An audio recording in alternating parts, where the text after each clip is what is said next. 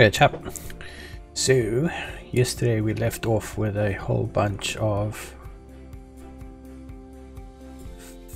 floating point numbers here.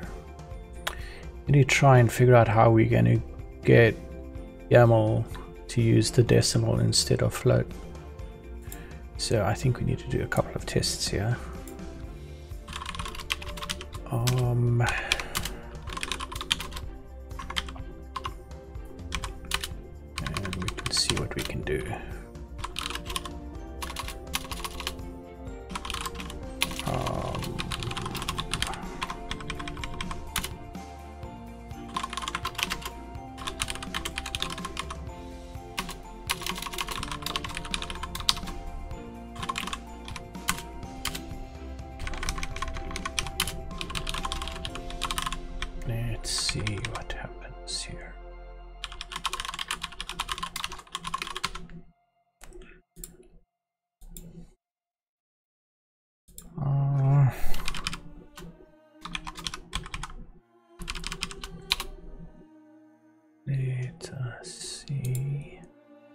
Shows 1.5, which is a bit weird.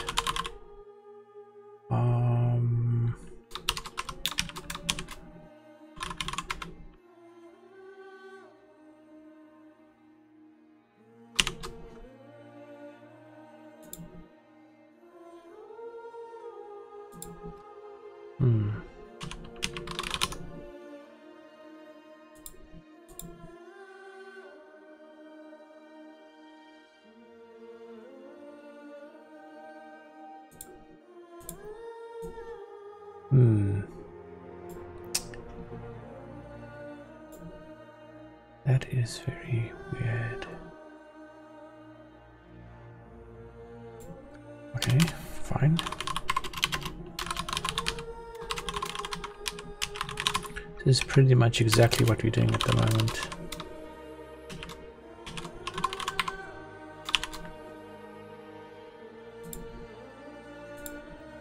Okay, but hang on a second. Maybe this is something else that's causing it.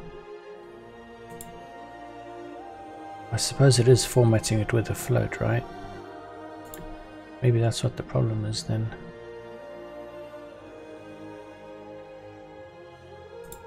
That's what the problem is.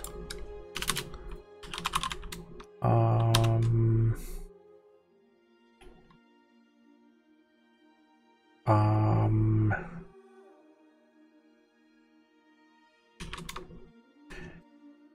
Is this the same as...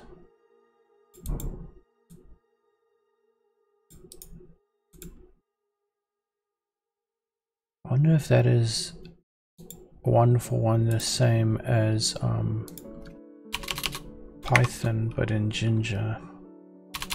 see if we can do this then. Okay, so test3 is a, is a decimal. So what happens if we print a decimal as a float?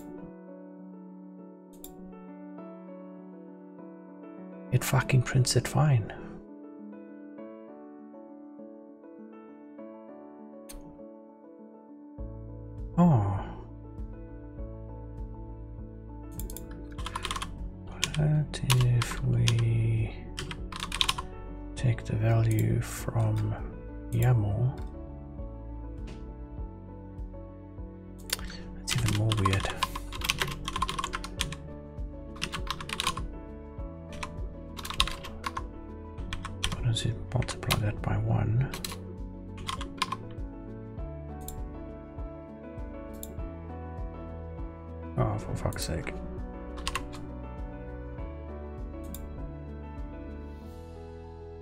Okay, so how the fuck then are we getting...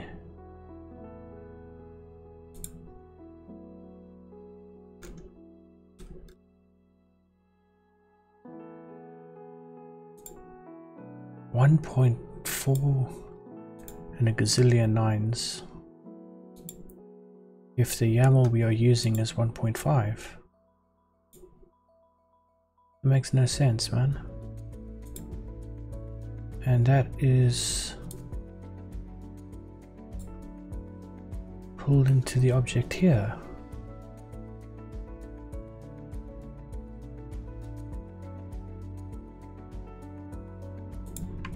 That makes absolutely no sense whatsoever.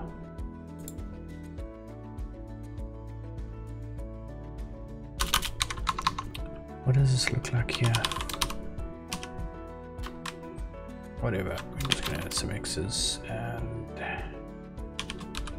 KWOGs unit price and see what that looks like there.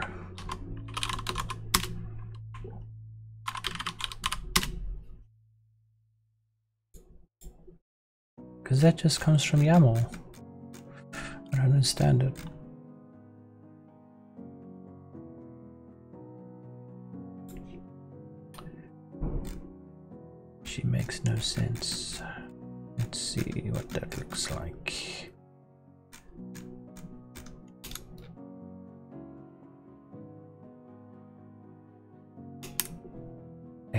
1.5 over here.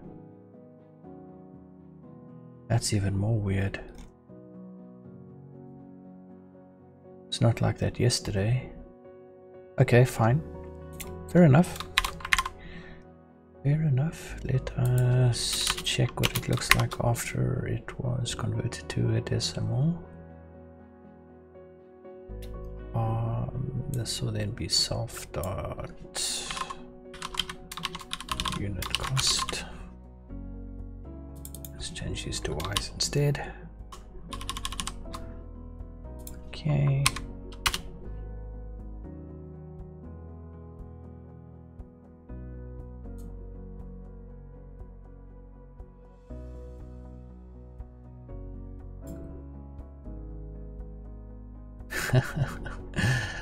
the fuck?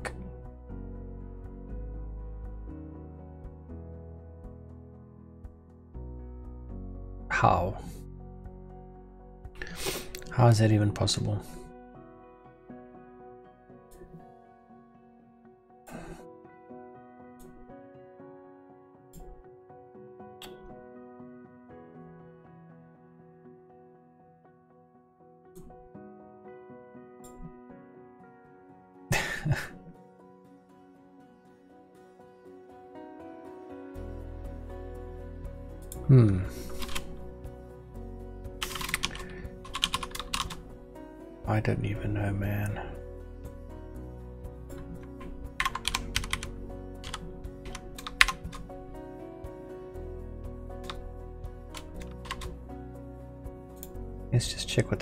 These are.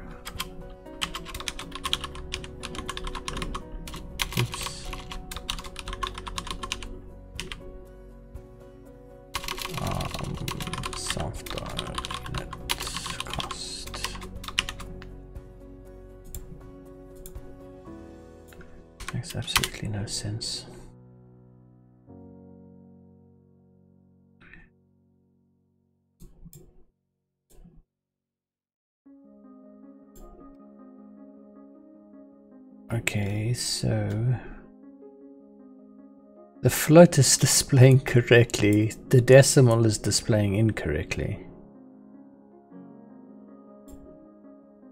I must be missing something here. Where's Firefox gone? Let's check the, the manual again.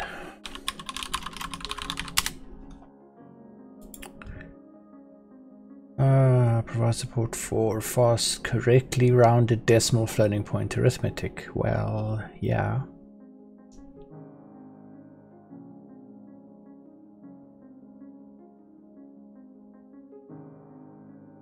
Um...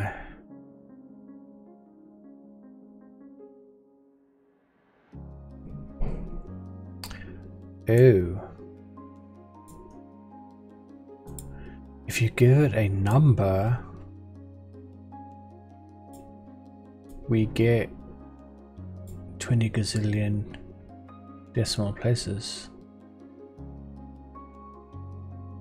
Should we just feed it a string instead? It sounds a bit fucked up, but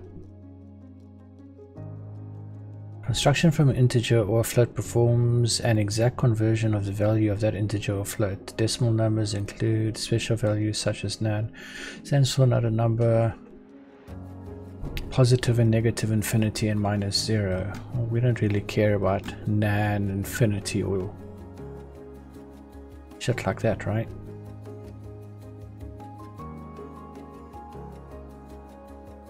Hmm. Okay, I mean, I suppose the easiest way to fix this might be just to convert it to a string and then feed it into decimal.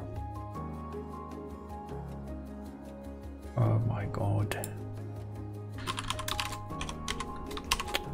I don't even know, but that gonna fix it? Potentially.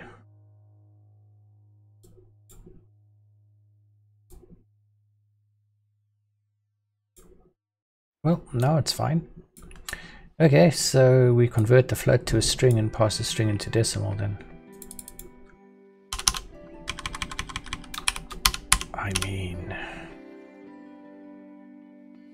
So everywhere we have a decimal and we're feeding it a float or something like that, we just throw a string in first. Uh, that should be fine. That should be fine, that should be fine. This needs to then be string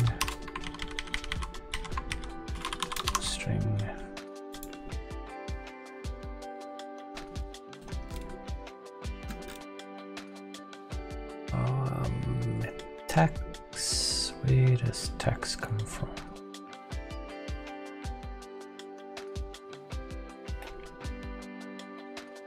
That is specified I suppose. Let's just fucking throw that as with a string as well okay the sums we don't need to do okay so if we regenerate our PDF now we shouldn't get fucking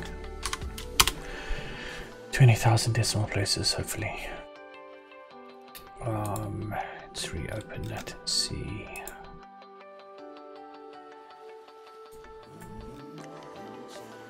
Okay. That is apparently fixed. However, probably shouldn't have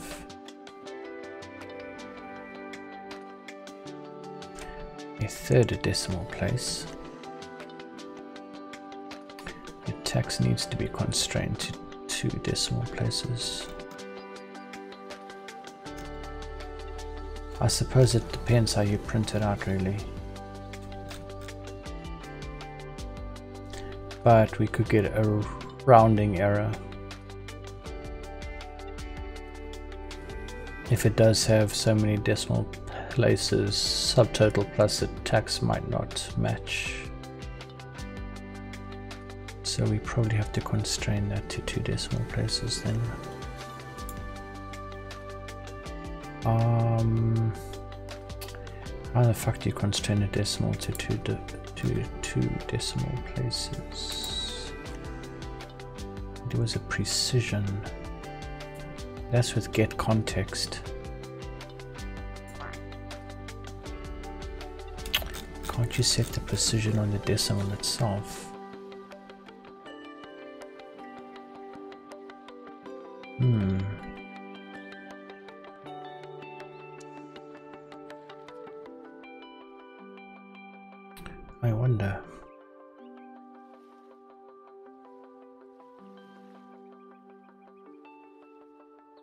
There's actually a from float option. That's interesting.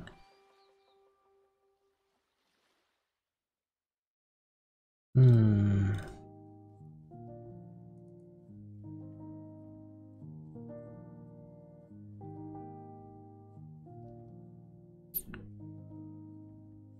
How would one set? Turn a value equal to the first operand after rounding and having the exponent on the second operand. Isn't it just a fucking decimal place option here.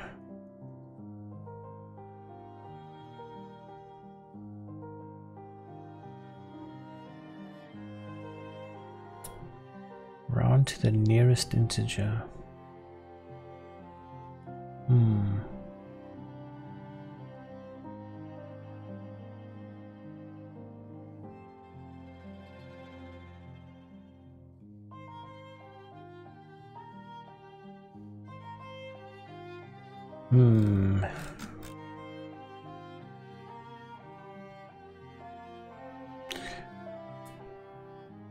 Would round return? Oh shit, my Firefox isn't displaying. Um, that's not good.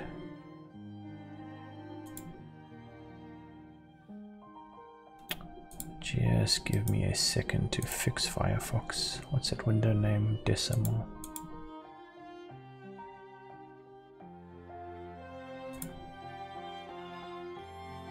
I suppose that that's a bit better now. Okay. So can we run just around on it? I wonder if that would work. Let's try something. It us. So we fixed that problem. Um, decimal.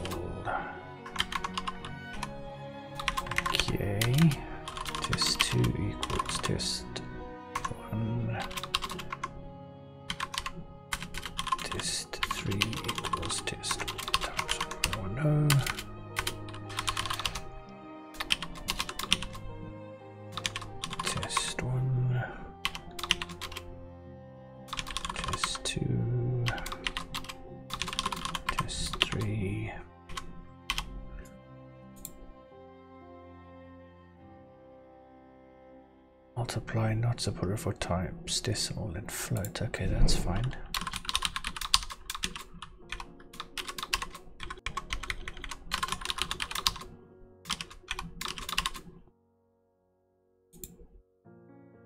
Okay.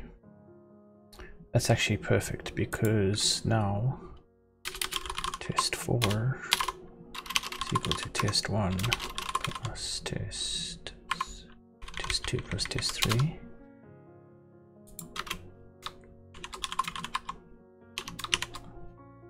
Want rounding errors here. That's 2.53. Let's add another. Okay, 2.553.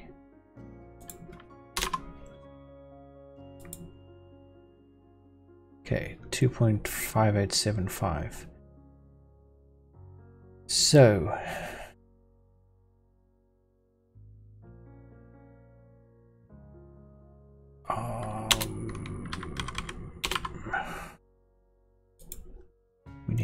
to this.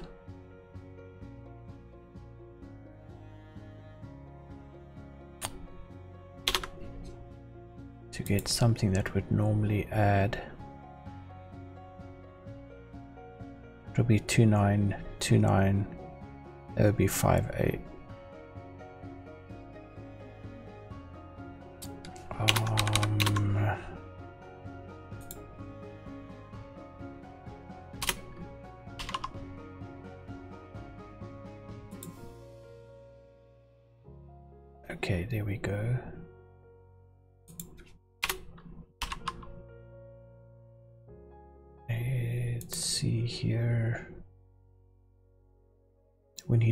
that goes up to four.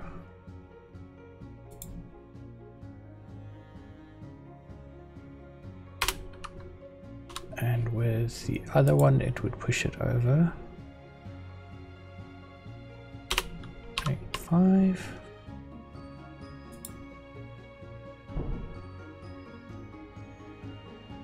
Okay. So 1.27 plus 1.27 would be 2.54 that is going to round up to 2.55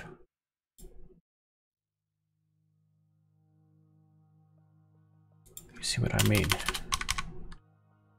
You don't want a quote to be sent out where you got around where you have the values being stored with so many decimal places and then your total at the end rounds to 2.55 where 2.27 plus 2.27 is equal to 2.54 that's the problem that we have here.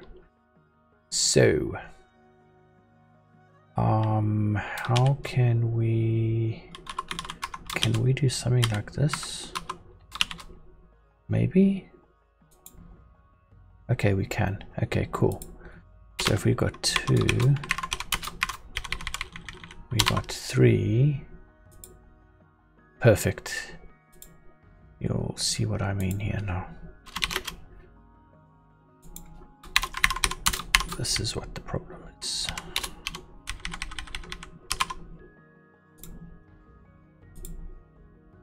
See 1.27 plus 1.27 is 2.55 we got to fix that so somehow the precision of our calculations need to be reduced to two decimal places. Rounded up, of course. Hmm.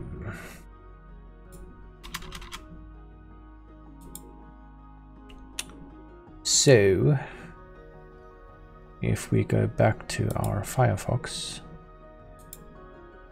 and apparently you can set the context of the current thread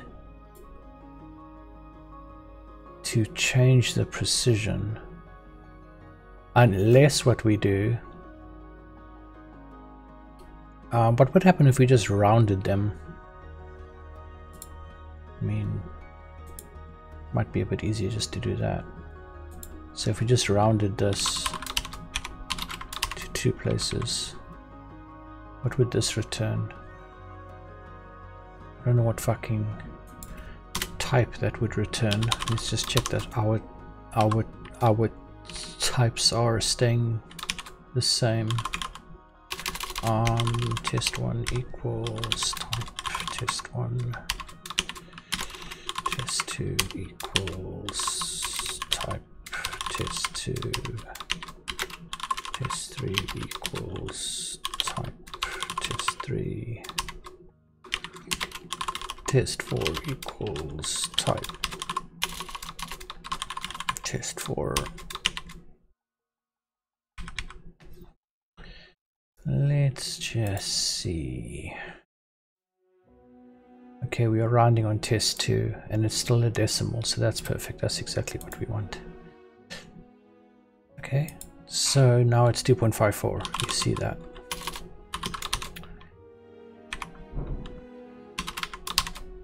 Okay, and then the the the adding of it won't make any difference. It's just in it's only the multiplication and division that we need to fix. So there we go. It's now 1.27. 1.27 is equal to 2.54. That's exactly what we want.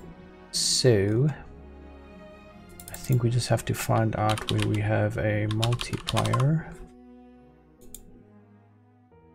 Or a divide, I suppose. Uh, actually, we don't need to touch the tax multiplier here. What we do need to do is touch it over here. So we're just going to round the tax um, to two decimal places um, unit price times markup multiplier. Um, now that is a bit more complicated because the unit price can have multiple decimal places. We probably need to do it on total cost instead.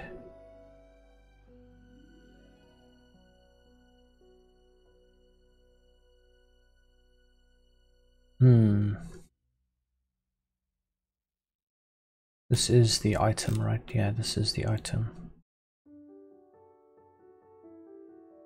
So unit price times markup multiplier. So the unit price can be different. The total cost is what is used with the tax calculation. Total cost and total price. So these need to be rounded. Total cost and total price. Those need to be rounded to two decimal places. And then markup multiply, we don't need that to be rounded. And then the tax calculation needs to be rounded over here. Um, which is at the quote level now. So over here, tax needs to be rounded. Okay. That should be good. So now if we grab if we grab or create something with 1.05 and 1.085 1.05 1.085 1 point fuck I forgot what that was now god damn it 1.105 1.105 where the fucking file go? 1.105 whatever. 1 point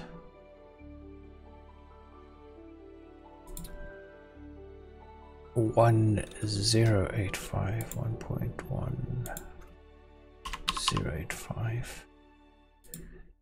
Okay that should give 1.27, 1.27, and 2.54. Uh, where the fuck is that gone now? Well, it's rounded that now. Hmm, I wonder if that is okay.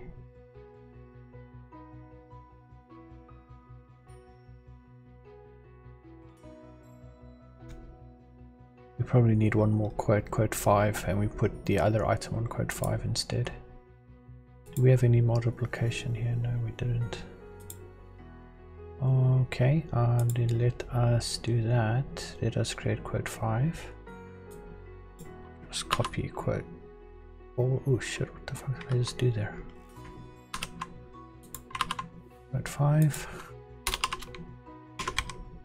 Quote 5 whatever and we're going to remove the water from this one and we're going to add it to this one. Surrender quote 5 as well. And then let us add quote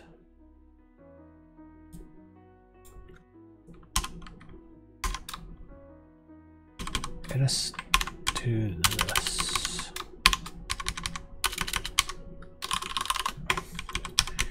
Intel on Thursday submitted a final DRM Intel GT Next poll of new material slated for introduction in the upcoming Linux 5.17 cycle. And we set our tax to if we do that at zero it's going to be defined it's going to create a zero tax value. Okay that's what we want to do here so we get that multiplication as well. And if we rerun this,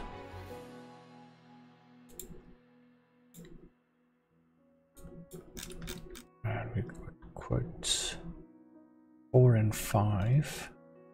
Remember these have got more decimal places at the end, which should now be rounded. Okay, that looks good. So if we do like um, the tax applies to the total of all of them so these will always then match up. And we are actually displaying all the decimal places at the moment. So I think that's going to work fine then. That's going to be good. We can even test the other functionality where we give a cost. And markup of say 10%.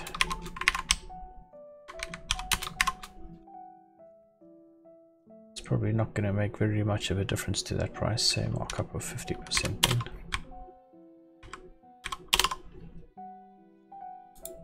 And we shouldn't get any funnies now.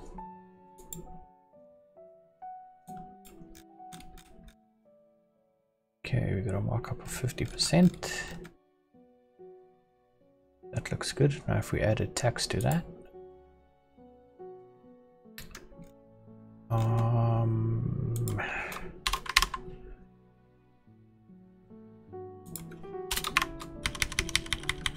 this is going to be also tax. 5%.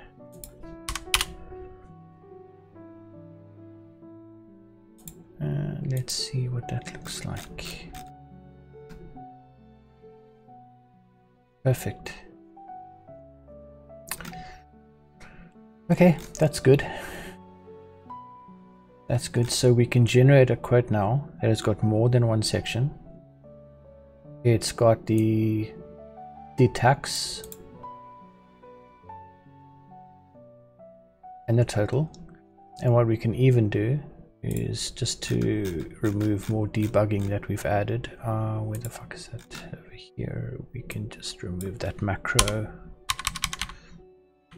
and put the currency macro back into this. We shouldn't be rounding anymore here. Rounding's now handled in Python and uh, not in Jinja.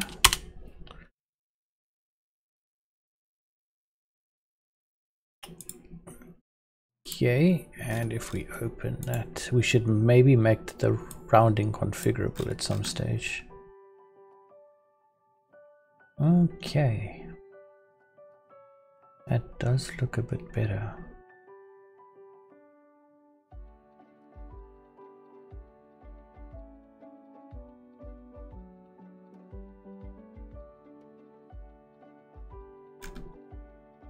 Okay, so we've got a quote now, which is just a single block with no summary at the end or anything like we have down over here. So we can display the pricing and shit over here. We've got subtotal, total. We got a single item without a, without a quantity, which just displays the total on the right hand side. We've Got subtotal, tax, total. We then have one which doesn't have tax added. And we just have a total. Now these two would then be like on a summary like this over here where it displays 4 and 5 it's got the prices over there. It's got the total at the end. Various ways of doing shit. So now what you can do is you can add like a whole bunch of sections with a whole bunch of different things you're quoting on and then you can draw a summary at the end like this over here which contains all the sections you've added and then the totals and depending on the client that you have you can then add the tax at the end instead of in these separate blocks themselves. Let's just check these values are correct though. So day one quote one is 111749. 111749, you see it pulls the total in over there. And quote 3 and 4 is 20 and 1.66.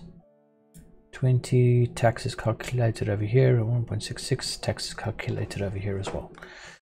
Okay so I think that that is actually not looking too bad. This is all just very rough at the moment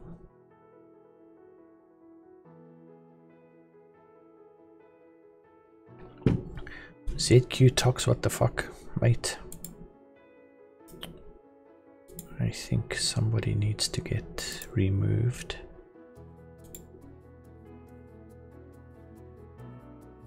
Hmm.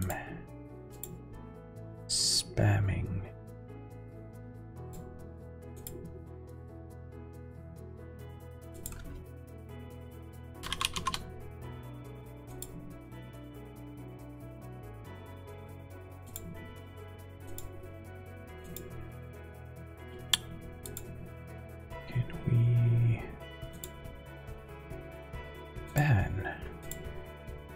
Here we go. Okay. Um, so what is next that we need to add? I think next is generating a quote of a very complex product where we provided parameters in terms of how it's configured and then we have a Python module or add-on that then builds the lines for the quotation itself. Uh, do I have some sort of an example of that? I think it's this block over here. So we define the, we say it's a product that we quote on instead of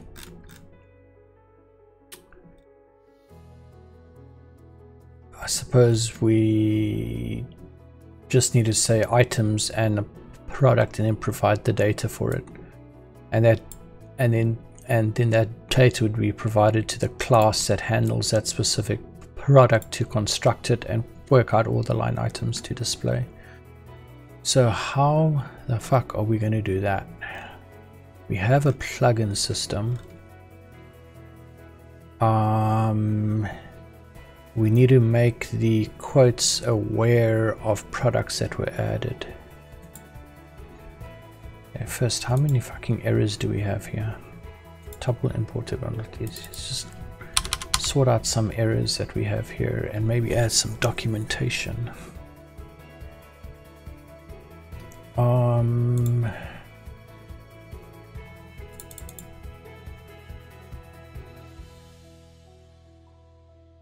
I think we can remove most of this shit.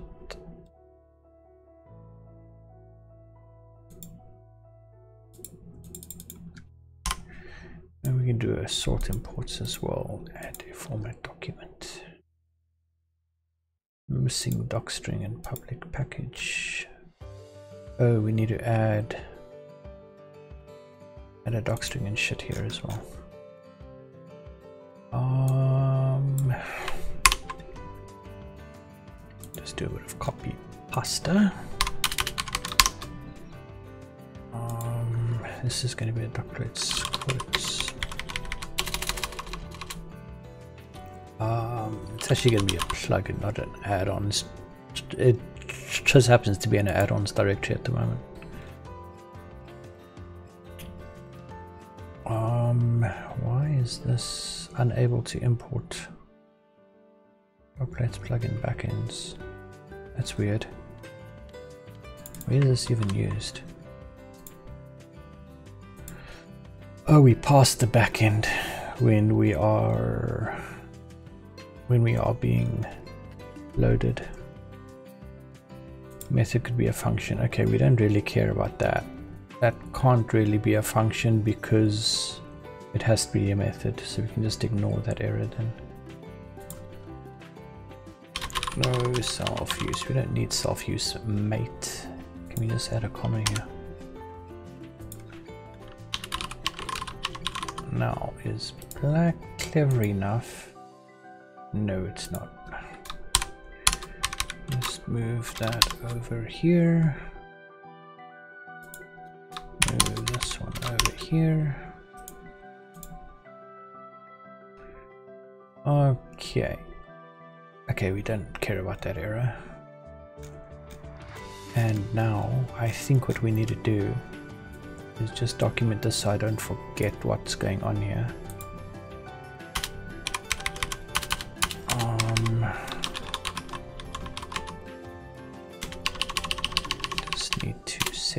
A couple of things.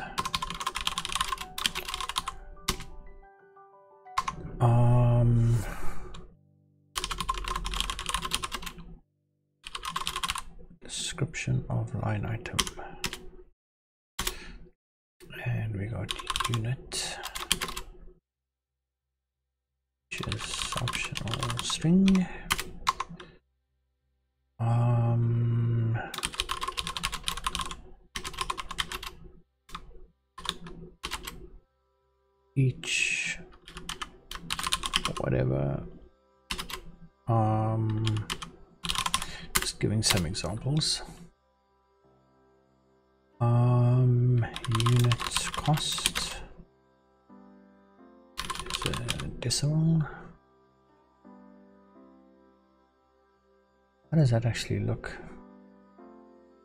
Now I saw someone else using something like that. Oh.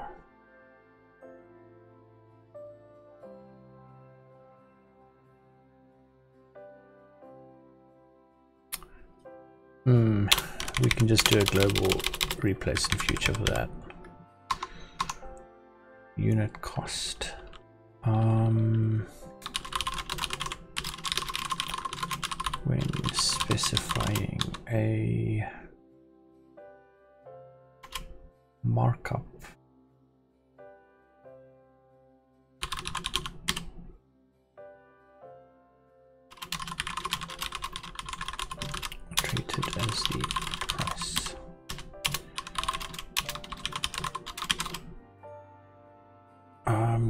price is optional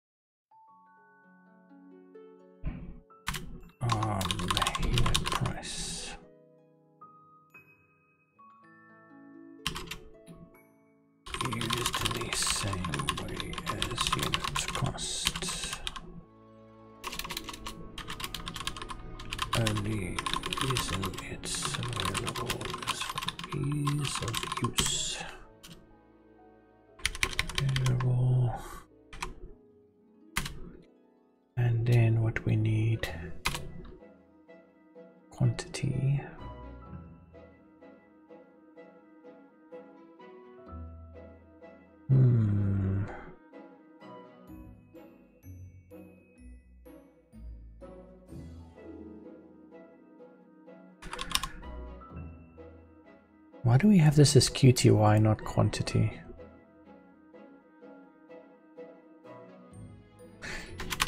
I feel another global replace coming along.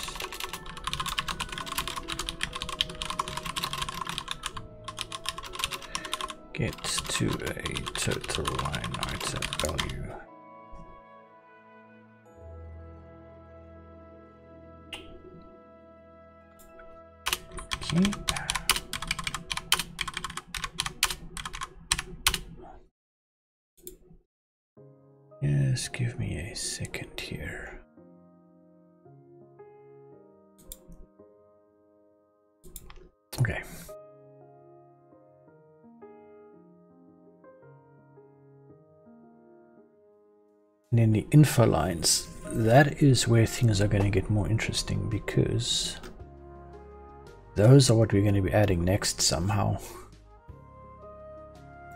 I'm not quite sure how we're going to do that yet. So you've got description, unit, unit cost, unit price. Why are you fucking complaining? Blank line contains white space. Okay, that's fine.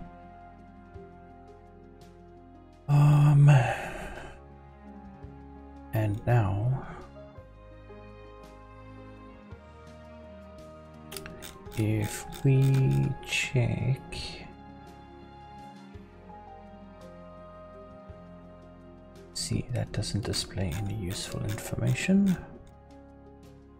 Probably just need to copy this. And shove you over here.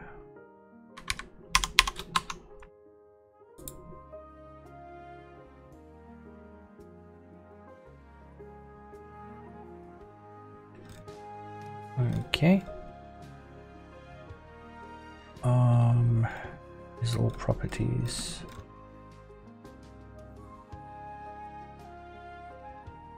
item group is something we need to do as well.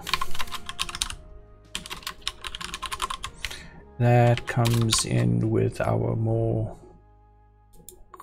complex products where you would have a bunch of items that make up a single line item.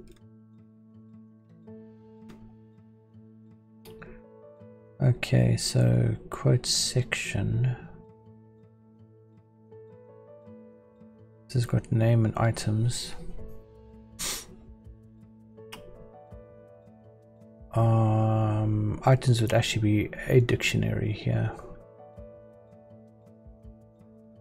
So there's a section displayed within a quote. Um, and for that, we need name.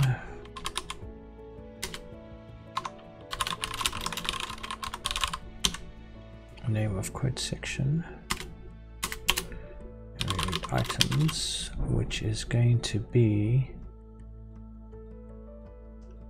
um hmm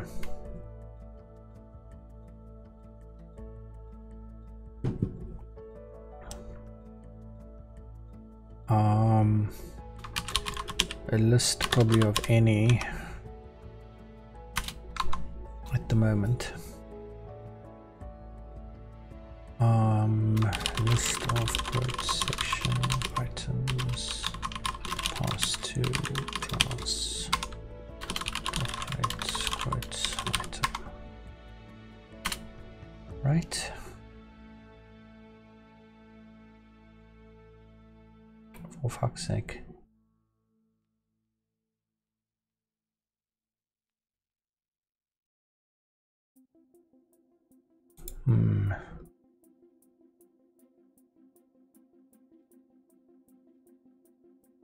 Okay.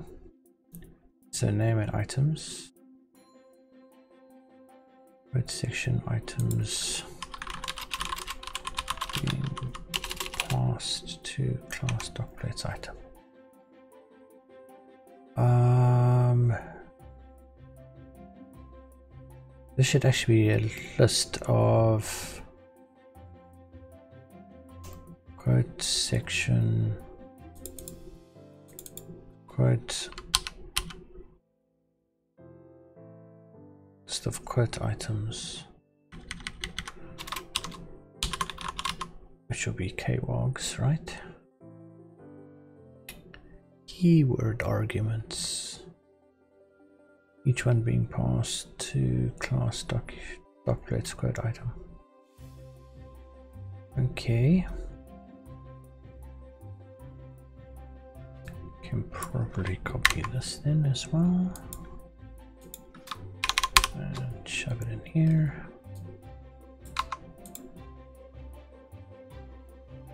And these are all properties.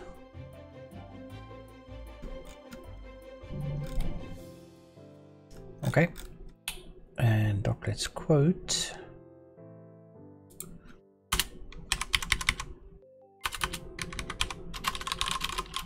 representation of a quotation. Multiple quotations can be. Ah, Actually, we don't need something like that. Parameters.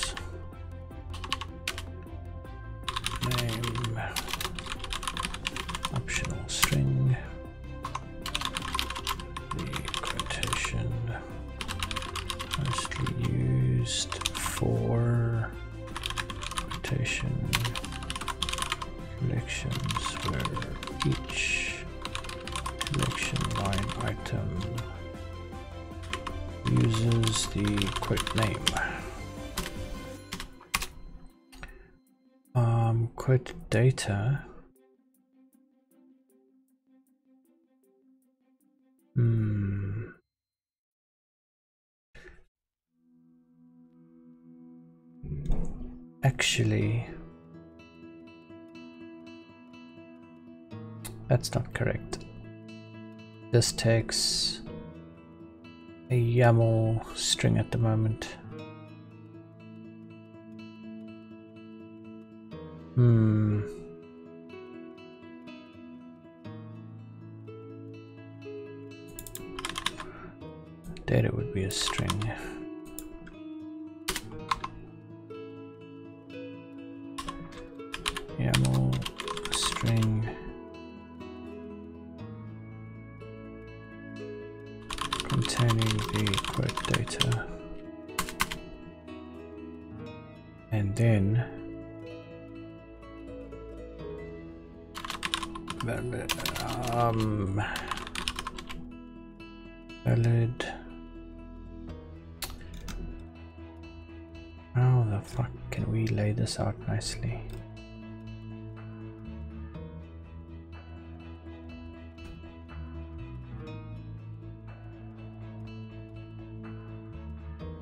Unless we make a factory below that converts the YAML into kwargs and we pass kwargs here. That might be a better idea. Might be a better idea. Um, so we got name. We're going to have tax rate.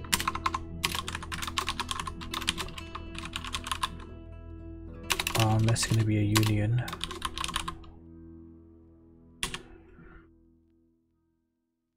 Either.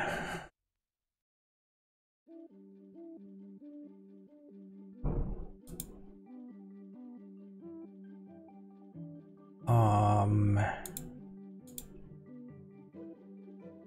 decimal or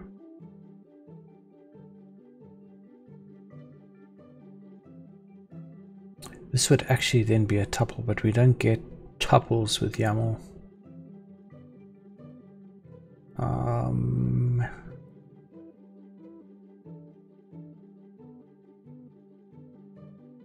which makes that a bit more interesting So it would have to be a list, right? And it would be a string and a decimal.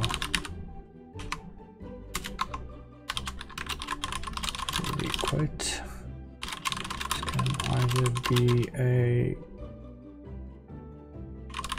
single decimal value, in which case the tax name is set to tax.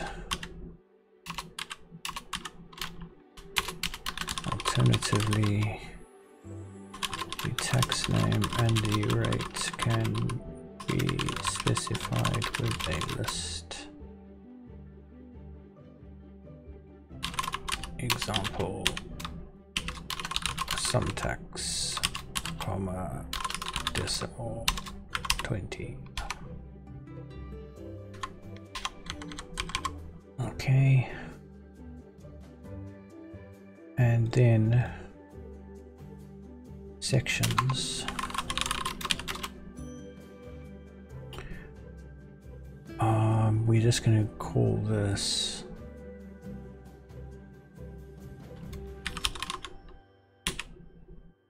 can we do something like this is that even a valid type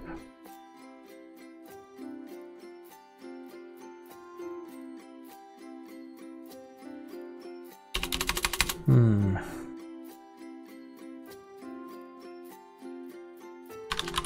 Let's just go list any quote sections. These sections are passed to class docplates quote section.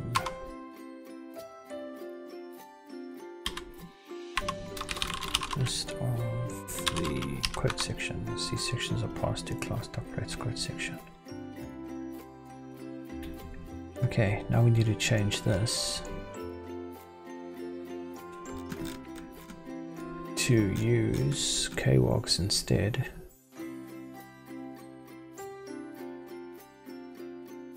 Um,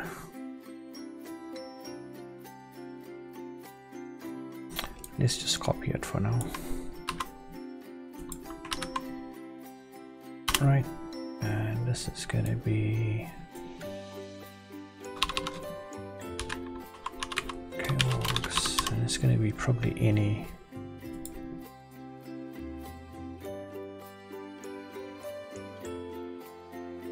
We don't need the load anymore. and this is going to be kwargs oh for fuck's sake kwargs get name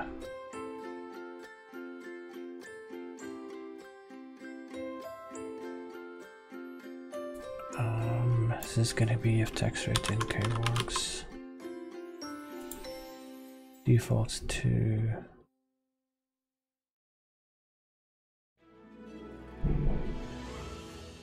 defaults to, you know something.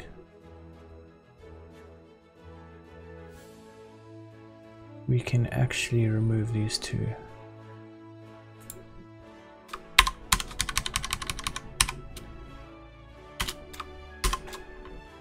This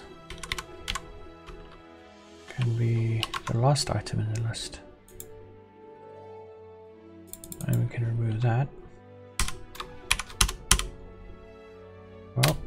We go.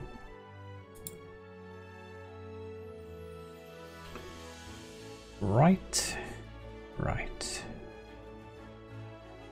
If text rate in kwarg after text name equals text by default. Um, oh wait, that is if it's a list. I mean, we don't even need to check if it's a list, do we?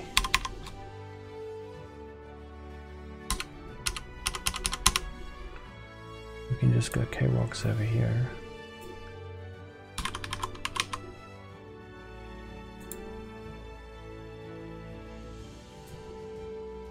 And kwargs over here.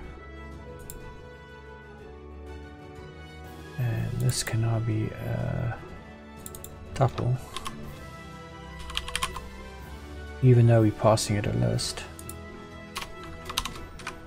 Oops. Oh, for fuck's sake.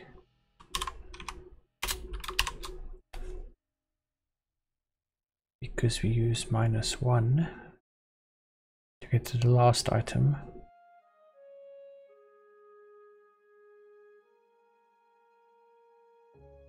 Oh wait, we can't use minus one here. We actually have to check if it's a list, right? Or at least it needs to have at least two items in it.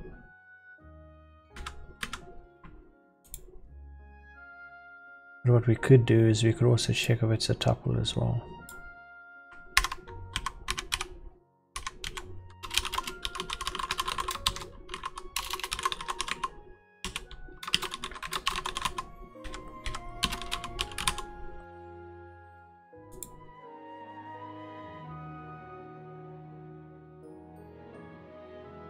Just means that the right we can't have here either.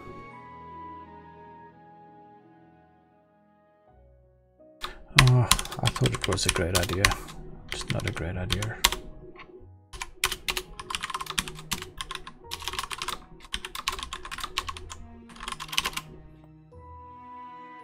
Um,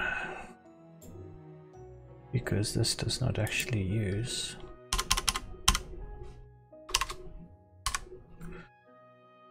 index. Okay. So if we have a tuple, take the first item as the name. If not, the first, the tax rate is then just decimal. Okay. We don't have a text rate, we just hit text rate names none and text rate none.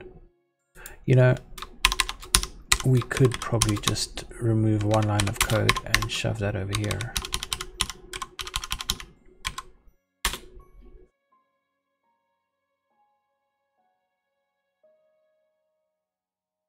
Okay.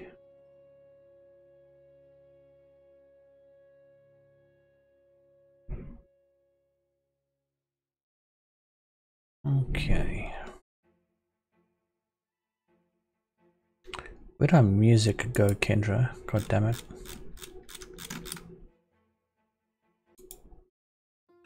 Okay, let's see.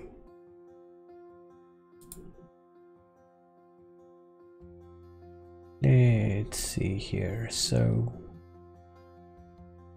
we got the name, tax rate. We can change this back to the top, I suppose.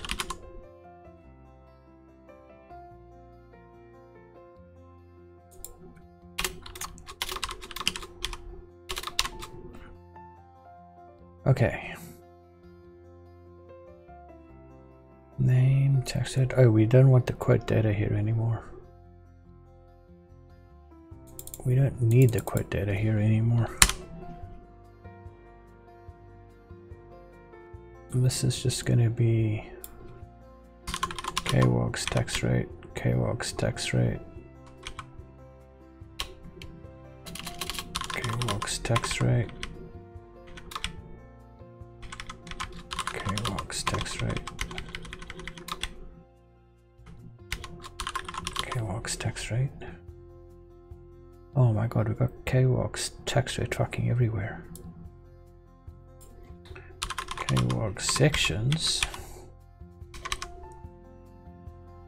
Um, we need a little bit of error checking. Let's just fucking grab that. Um, we don't technically need a quote name. We don't technically need a tax rate. We do technically need sections. Save sections, not in kwargs, missing attributes, sections. Okay. That looks a little bit better. Now obviously this is going to blow up, right? It's not going to work first time. Okay, now we need probably carry on. We will end up where we need to create the factory that converts the YAML into kwargs so we can pass kwargs here instead. And then everything is the same. We don't have fucking YAML passing and shit all over the place.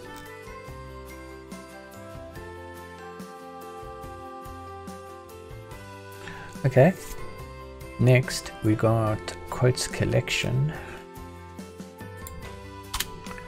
Let's put collection class. Used to display collections of oh fuck. Collections of quotes. Used to group together quotes for summary display summary like purposes, fuck it. Okay. Oops. I can't spell either. Fuck. Okay, um... And that... Hang on a second.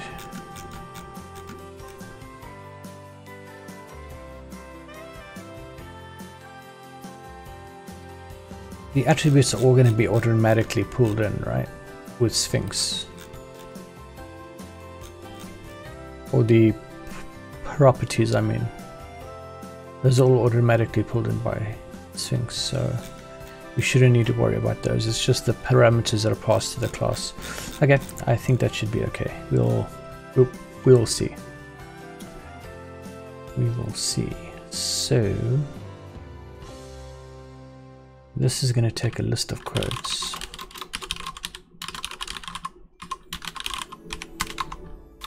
List of quotes. Hey there, dear Cthulhu. How are you doing, man? List of quotes. For the collection. Fuck it, I don't know.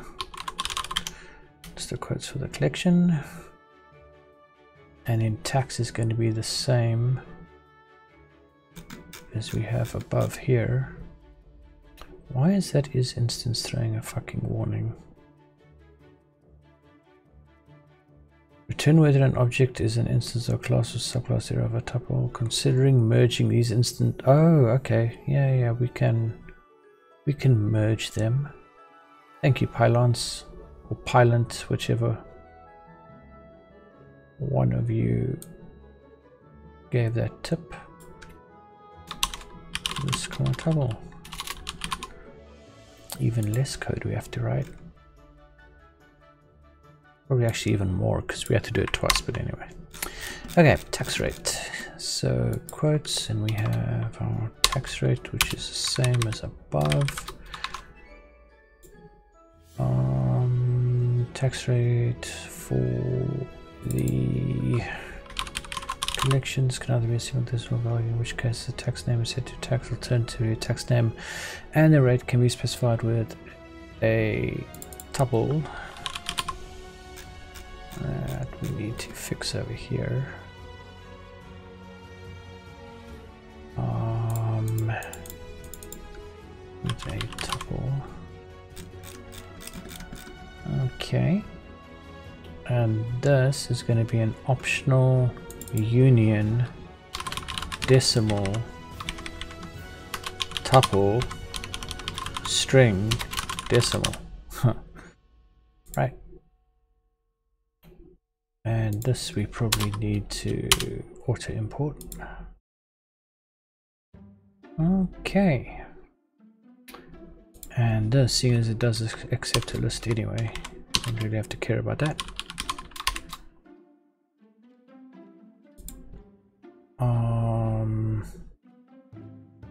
that's not tax rate though.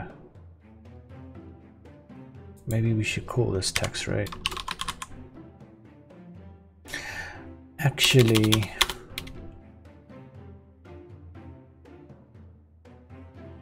hmm. I suppose tax rate would be better for this. Whoops. tax rate. Okay. And we can, oh shit, we can save one line of code.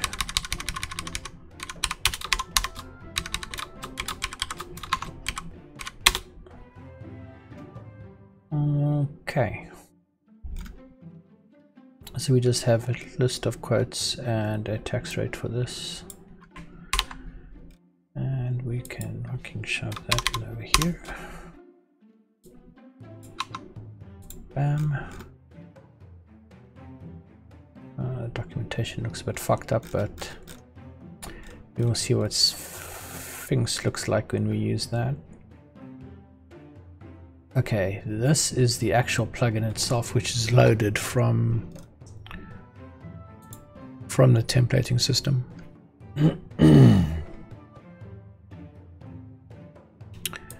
Just give me one second, chat. Okay, delete some mail here.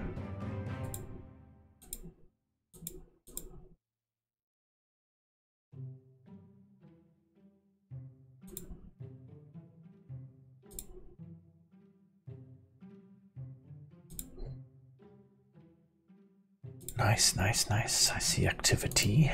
Okay. Um So,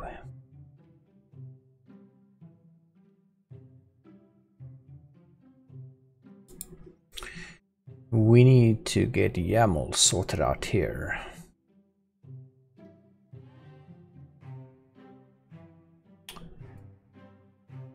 Um, that's gonna be interesting.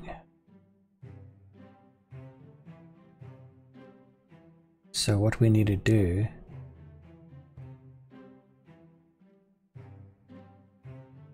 is we probably need to add a method here.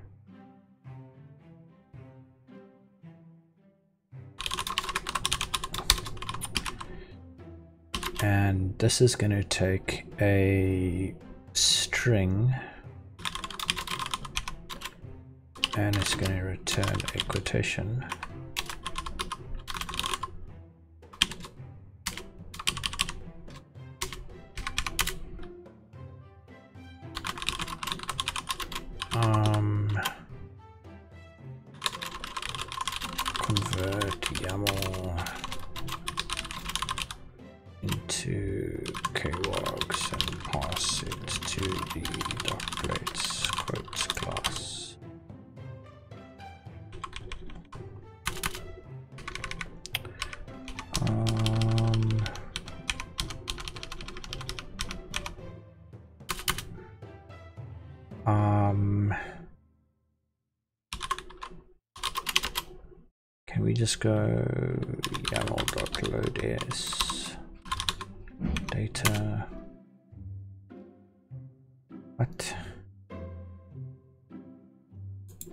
Safe right?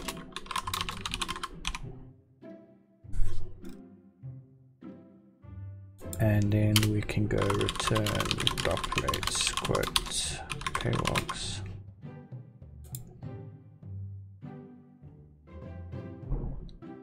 expected zero positional arguments. Uh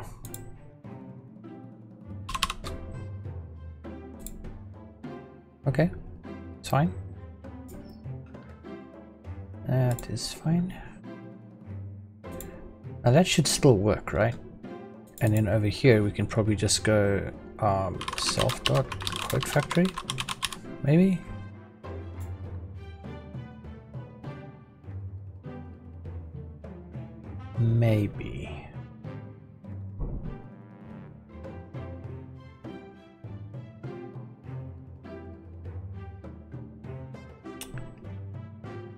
Shall have to see. Okay, this cannot actually be a... I suppose that this could actually be a function or a method. Fuck it. Pilot, leave us alone. Leave us alone.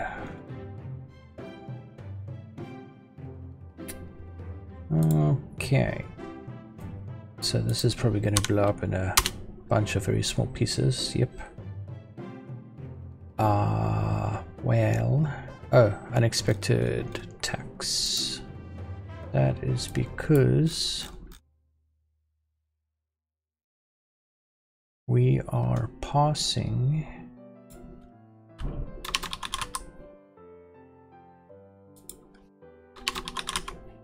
that over there. At least it gives us the line in our in our template that has the problem, which is pretty fucking useful. Okay, this should hopefully still work. So we should still have... Oh, nice, nice, nice. Okay, so back to the bigger picture. We need to be able to use a class to generate the items for a quote. And for that we're going to need to change our plugin system slightly. Because we need we need the quote section which is right fucking up above here or even even before the quote section we actually need to generate the quote sections um, so the actual quotation itself needs to Oh, that's actually a good question then. Because what happens if we want a um, a Python class to be able to generate the sections here? Because that would actually be quite nice, where you define a per a parameter for the product, and then the class itself can then create all the sections for you to sort of um, space things out a bit more nicely.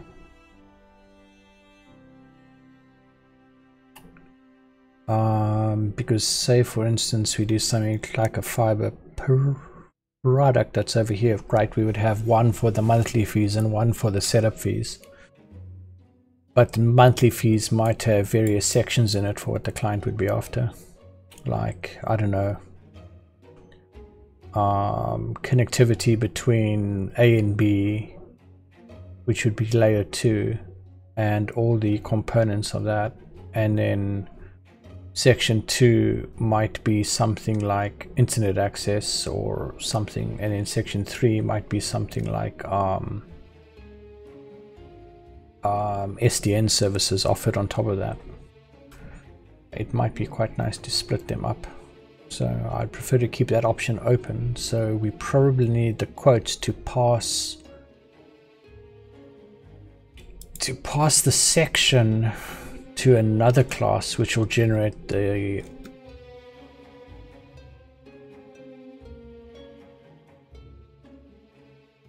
uh maybe not hang on a second how do we how do we have it in our system at the moment? So it looks something like this over here. So section name items product. I Here's an interesting need... fact I just oh, found. The characters Bert and Ernie on Sesame Street were named after Bert the cop and Ernie the taxi driver in Frank Capra's It's a Wonderful Life. Uh, okay. Thanks, Kendra. That is enlightening. Um, so how would we then specify like a fucking product that has got a class associated with it for creating of the quote line items? We would probably need, so we've got a section over here with a name and shit, right? I wonder if we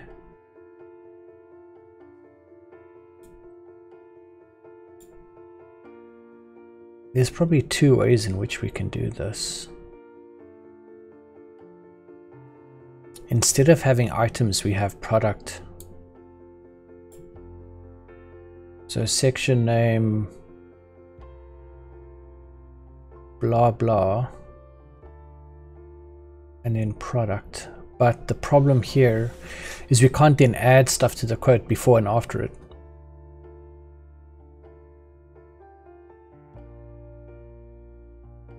Well, actually we could, right? How are those sections being created at the moment? It's being created from the quote itself, right?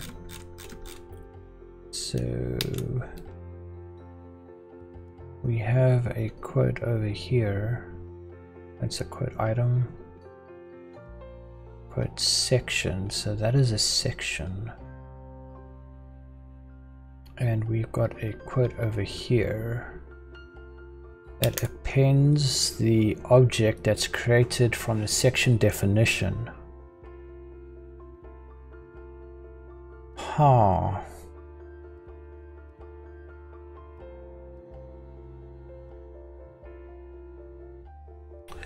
I wonder. I wonder. If we want to be able to add sections before and after, we would probably have to shove it in here somewhere. Maybe we can inspect section if it contains product. And if section contains product, we hand it over to a plugin that's defined that product as something can handle, which is then going to create an object from it, which we can then, instead of append, we then extend. So maybe something like this.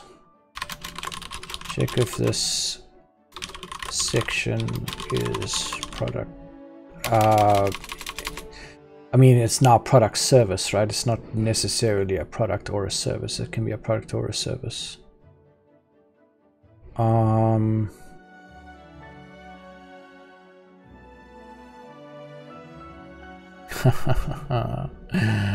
hmm.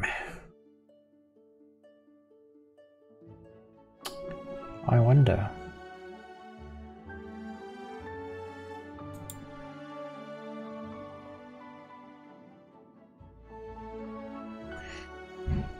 I wonder how we can do this. I suppose it's always about the naming of shit, isn't it? We can actually fucking remove the shit. Uh, we actually can't remove that, but what we can do is we can maybe change or modify one of these. So what we would have maybe is quote section one, right? Um, and we can call this like some cool service, right? let's just remove the fucking I suppose we can have the tax rate there it doesn't really make a difference um we can just put a unit price here of say 10 right? And now what happens if we want a complex product slash service to be added here? What happens if we added product service and we gave it something like company name dot category whatever dot something something cool? And then here what our plan is is to add data um, and then attribute amazing I don't know amazing quality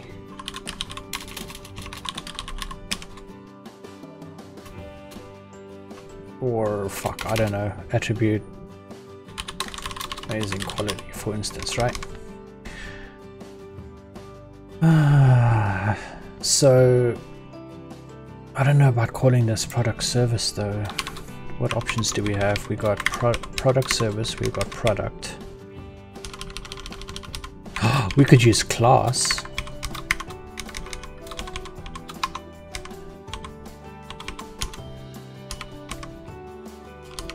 we could use class over here. Or we could use plugin. Plugin might even be a better idea. Okay, we can use plugin here. Or even from plugin.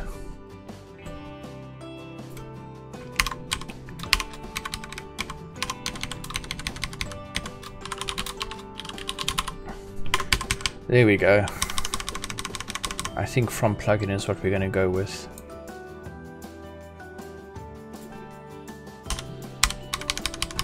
And this is now going to be called cross section start and we're to have code section end.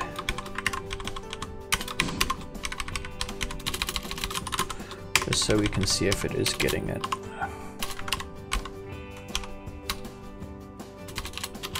Even more amazing thingy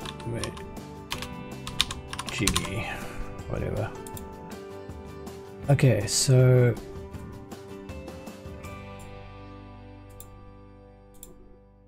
uh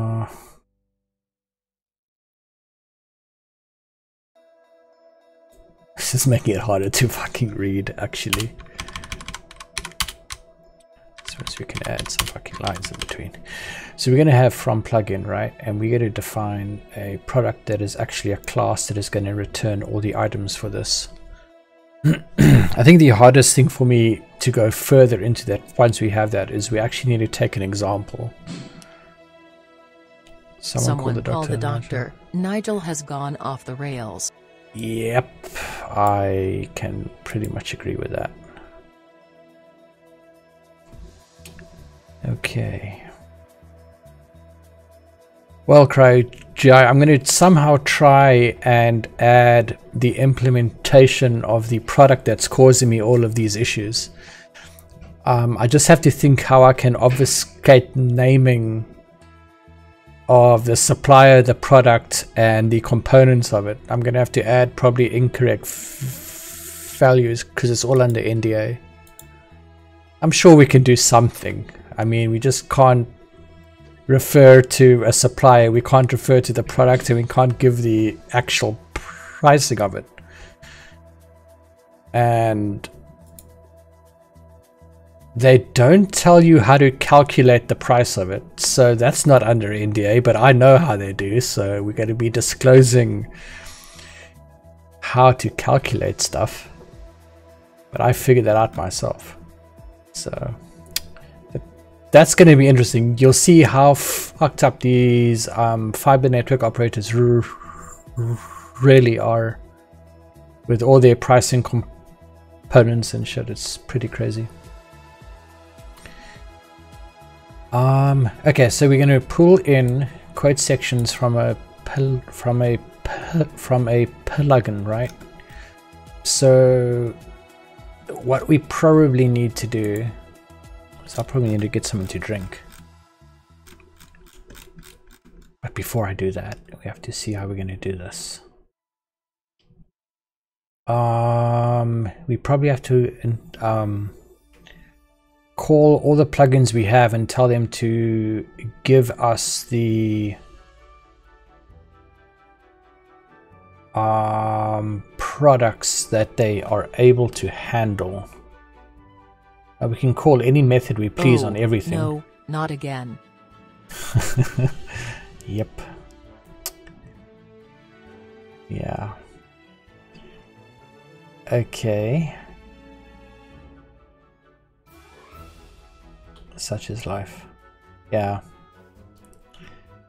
Um, so this returns our filters, our globals. We now need to get the classes for quotation sections. Um, but we probably can't do that here.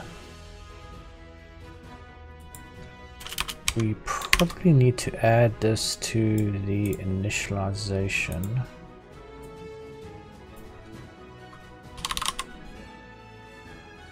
Um, we won't have a backend, but we can add a plugin manager here instead. well. Well, well, well. Um,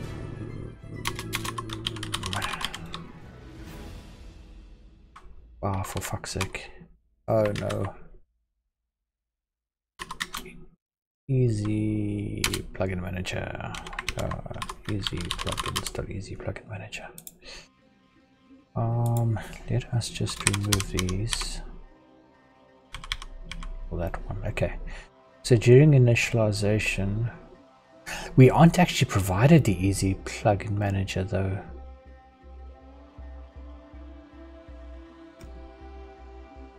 hang on a second me telling new students who wants to be programmer, that's hell you're walking into.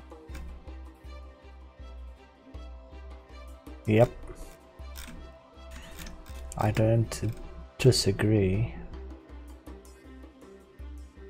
So where's our init? Our init is over here. I suppose we could pass the plugin manager into the plugin to allow that then to query the plugin manager for its own um, plugins or so. And that happens after the plugin has been initial well, after it's been created as an object.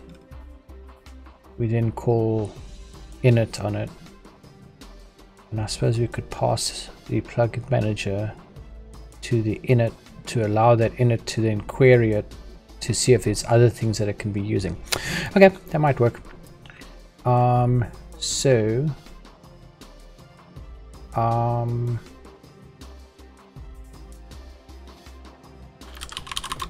can we just fucking pass the plugin manager here then? How many fucking add-ons do we have at the moment? We got backend over here. You probably need to have or not have an init function or method. Can remove that from you. We got WeasyPrint. We can remove init from you as well. Who needs to be initialized, man? We've got a... I mean, the file we don't even need anymore. That's historical. The, the logger we have doesn't have an init, so that's fine. Okay, this might actually work then. So we pass the plugin manager to the plugin. Um, right, and then what we can do over here. Uh, how the fuck do we call the plugin manager now? Something like this. Okay. Okay. Okay. And this is going to be upgrade squirts. Um. Hmm.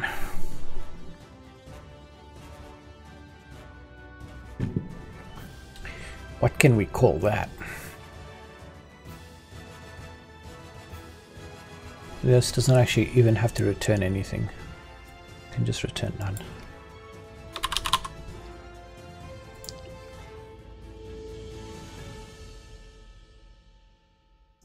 Unless we don't even put it here. Can we not? Oh, we okay. We don't want to pass that to Oh shit, you know, the problem we're to have here is can't the context or can't the the um, Jinja 2 can access an object that it has. In this case, quote 5.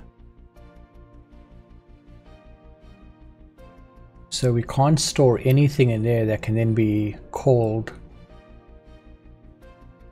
from within Jinja that could create a problem and passing the plugin manager to the quotes class is probably not the best of ideas to do that because then you can call the plugin manager which allows you to basically call any any method that the plugin can call or that the plugin manager can call which we don't want to have happen Ah.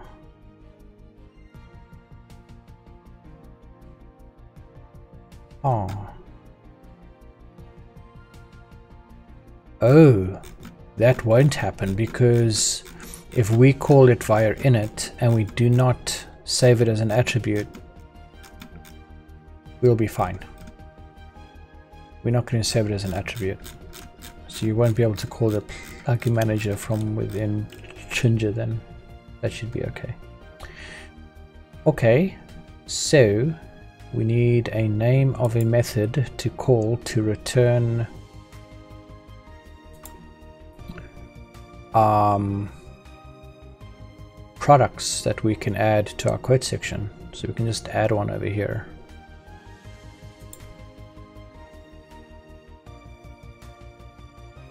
But this can actually then go inside of the quote itself. and we can save we can save the plugin manager to the filter plugin and we can pass it to the quote over here. That might work. That might work. Plugin manager. Easy plugins dot Easy plugin manager. Um,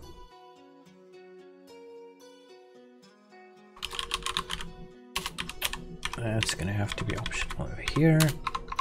Soft dot plugin manager equals done, and we get it during initialization over here. Okay and we are going to pass it to the quote over here.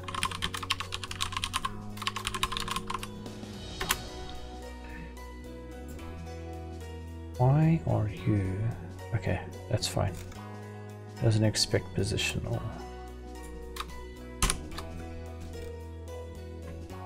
Uh, if we go to the quote over here, and we add in plugin manager,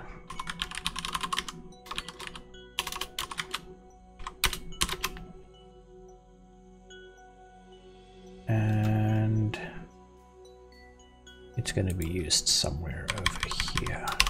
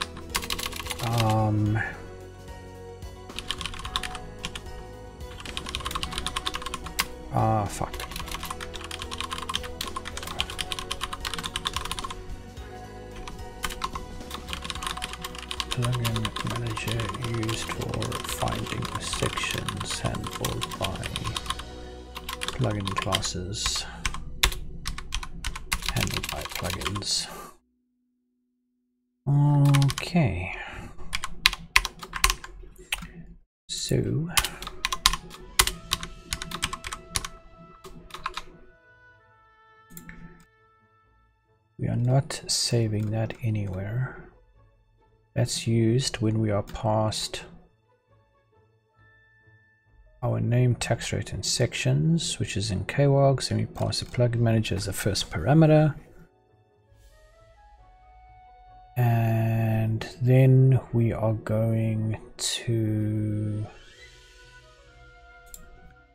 get sections. So we can go plugin sections equals plugin method. Run we pass it the section.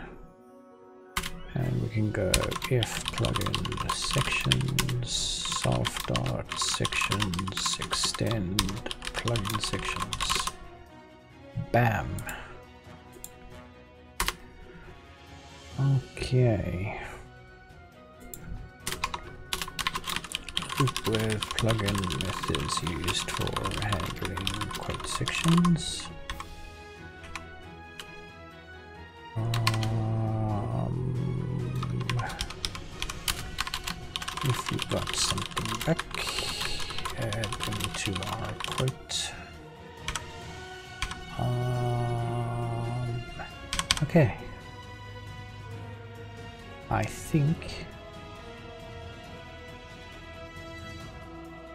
need to check if we have from plugin check if this is a manually defined section or one handled by a plugin. If from plugin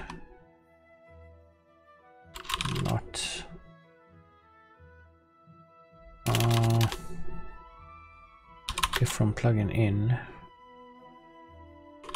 section.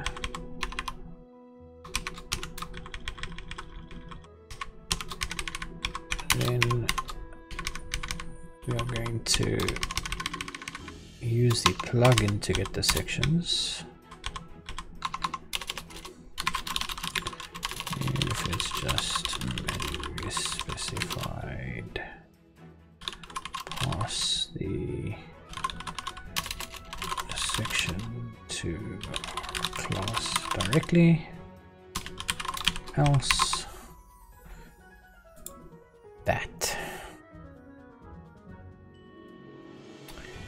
Okay, now the from plugin. Um, we probably need to pass that over here.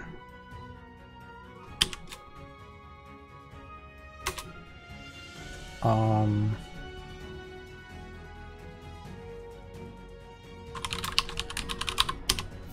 um, we can just pass the whole fucking section, it doesn't really matter. We'll just call all the functions and see which one replies with sections. And then they can verify if the from plugin is actually inside of it and if they want to return anything or not. Which means you can then add an order so you can actually add more items to a quote by replying or by replying in more than one plugin with the sections you want. And you can override shit then as well, I guess. It'll be quite nice. Um, so you just pass it the whole section. We just have to find a name for this over here then. Okay, I need to just quickly grab myself something to drink and I will be right back. Just give me a few minutes and I'll be right back. Oh, where did my fucking overlay disappear to? Hmm. Ah, there we go.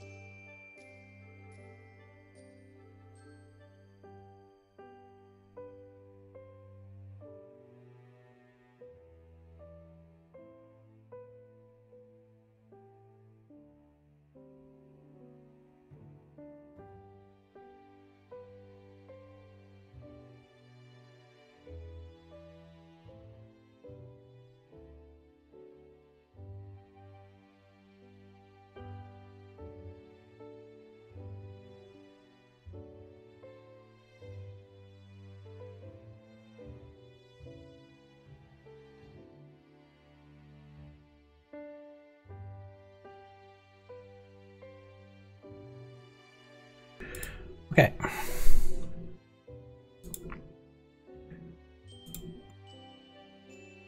So now, let's see. Docplates, quotes. Hmm. Maybe get sections? Let's try and see how that works. So, how the fuck do we add that to a plugin now? Let's just copy something from this one. Let's just copy this. And shove it in here. Plates. Quotes. Get sections and what we are going to get past is a section which is going to probably be just a fucking any for now. From typing any. Um it's probably going to return an optional list of docplates quote section um um docplates quotes port uh, actually we can just docplates quotes I probably have to change my fucking environment right?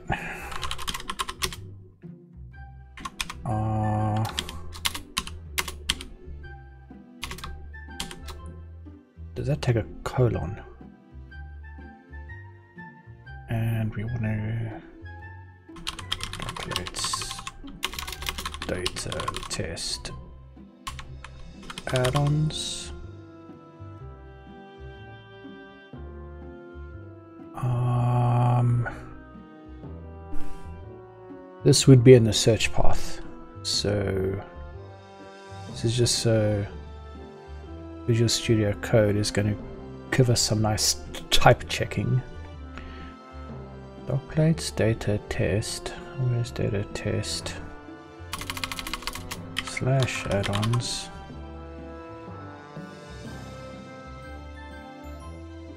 Slash docplates add-on quotes slash lib. Fuck me. Okay. Just quickly to restart VS Code. Let me just turn Kendra back on. So she doesn't misbehave. Why is she impersonating me? Kendra, why are you, why are you misbehaving so much lately? Okay, so you quickly restart VS Code. Just give me a sec. Uh, I switch to Firefox quickly and restart VS Code. Um, restart. Ah, it has to pop up with a fucking blank window, right? And open workspace. That one. Ah, that looks a lot better. Okay.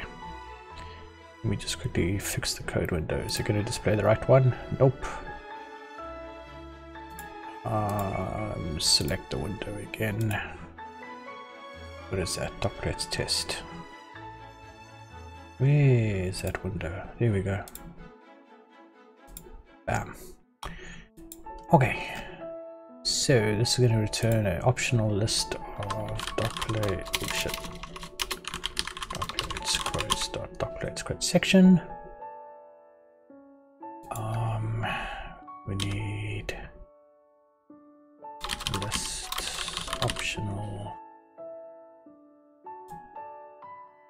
remove this. Can remove that.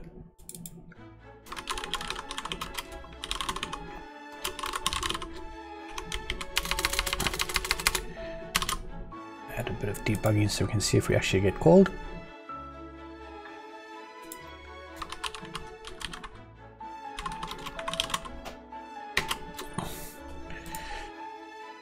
Okay. So.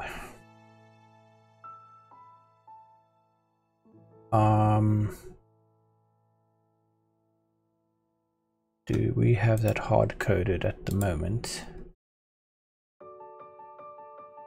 Probably.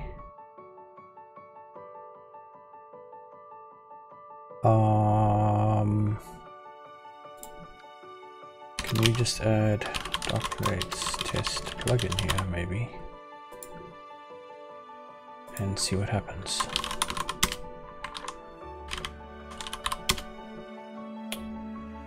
Um, docplates test plugin has no attribute path. Did you mean name?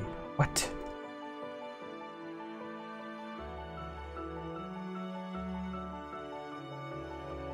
Hmm.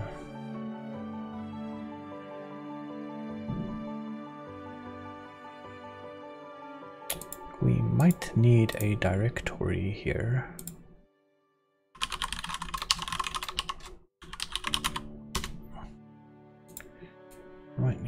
This into here. And we might need to rename this. And you're now happy. Okay. Fair enough. Now, did you load?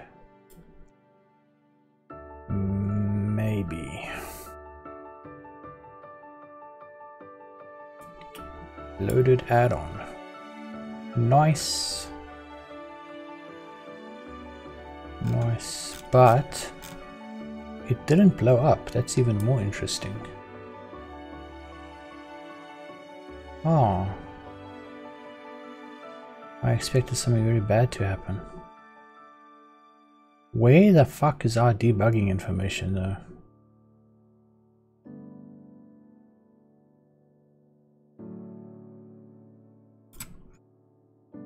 Should have some kind of debugging information somewhere here. Oh, there we go. Get docplates code sections. Okay, so it actually queried it. That's nice. That is nice.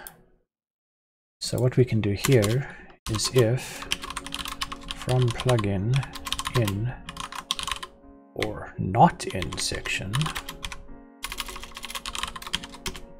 return if section from plugin is, fuck it let's just go is not equal to this.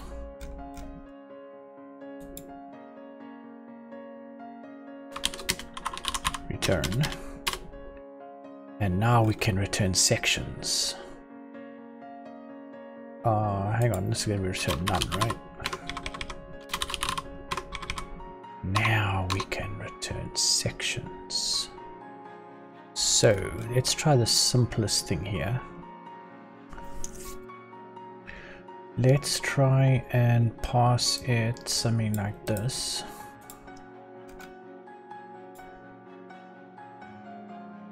Um. Oh, fuck it. Something equals something with a name.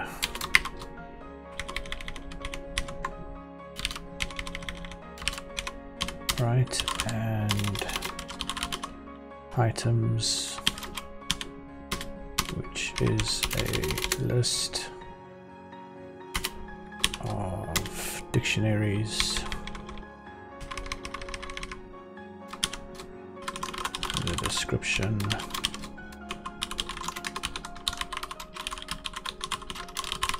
super amazing complicated thing. Unit price.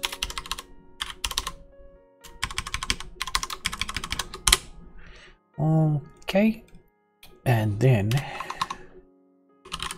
something section is equal to doc um, docplates credits dot docplates credit section pass it something and return.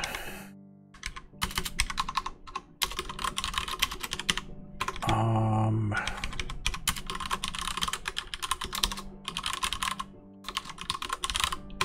something section, 10 sections.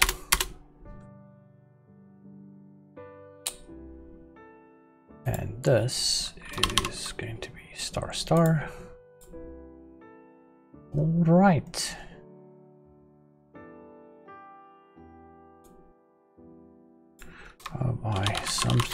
That is super amazing.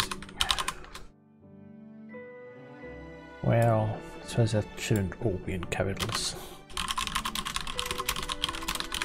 I mean, they're super amazing. Eh, can't have capitals everywhere. Complicated thingy. Okay. Is that gonna work? That's the question. Potentially.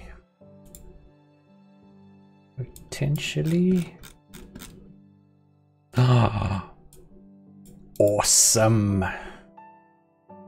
Okay, so now we can have a Python class that calculates what goes into a section. Ha ha ha ha. Okay, so what's the next step?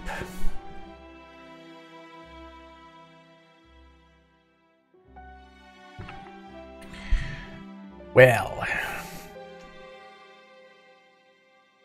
the next thing we probably need to do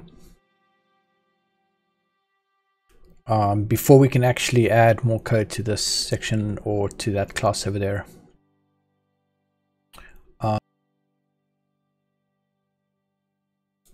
We need to add support for an item group, which is where the name is overridden to summing instead of displaying all the items that are under it.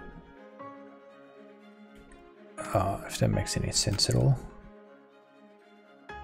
Um, so over here we've got a quote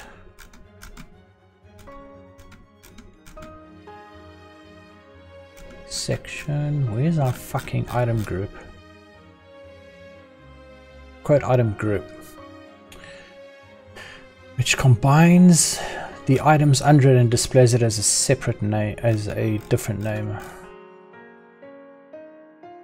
So how this is basically going to work is all the costing of a service is going to be within a class, right? As a product plugin. That'll contain how the cost of that product is worked out, which will then add all the items, all the quote items into a group to summarize its display. For instance, um, if you take maybe selling apples, right? You don't just have the cost of the apple you buy from whoever you're buying it from. You've also got the cost of transporting that apple. So what we're going to be able to do is define the parameters of how much that apple actually cost us and then being able to change the name of all the components of it into one line item called apples and set the price of that that is then based on a markup. Right? Which allows us to then plug this quote system into the future to be Python accounting system And what we're then going to do is we're going to have a, a plugin in the quote system that interfaces with the products on the accounting system side. And it can pull in the actual cost of items. So this is a very small component of something that's very large at the end of the day. Okay, so we've got something cool as a company category, something cool product thing and then we need to get our item group working. Now item group is going to be similar to the item so it's going to have a description it's probably going to have like all of these maybe. It's going to be the same as a quote item. It does inherit from a quote item, which is even better. But it's just going to total up what items are underneath it. So maybe the section is a bit closer to what we need for that. I think let's take the quote section, copy all of that into the item group, right? And we've got members instead of items. We need a name for this. Um, name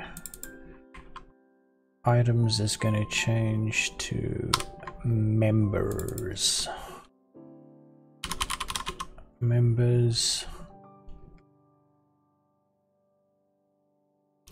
List of quote item group members. Each one is going to be passed to Docplates quote item, which is correct. And this is going to be members.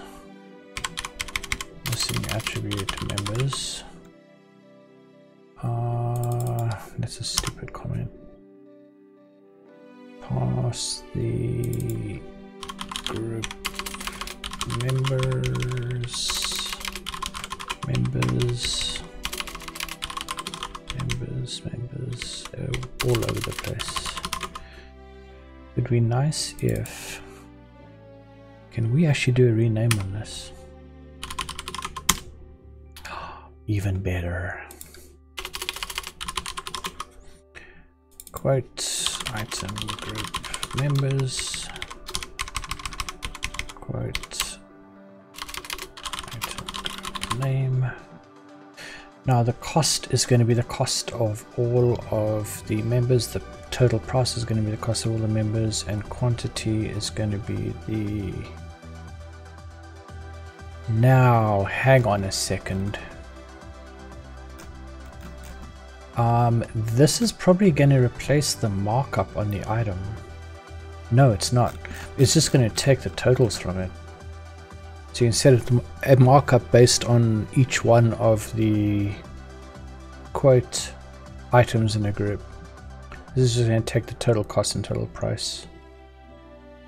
And has quantity is actually... Okay, so now we need a quantity. We need to override a couple of things here. We need to override the quantity.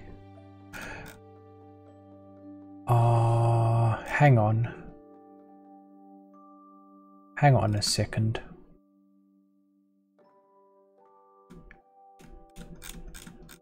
Hang on just one second. This is inheriting from Docplates quote item.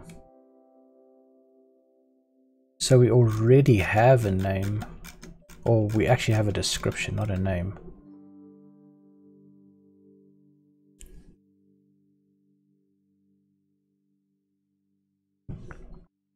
Hmm. Well, that's going to be a little bit more complicated. It's inheriting from this. Ha.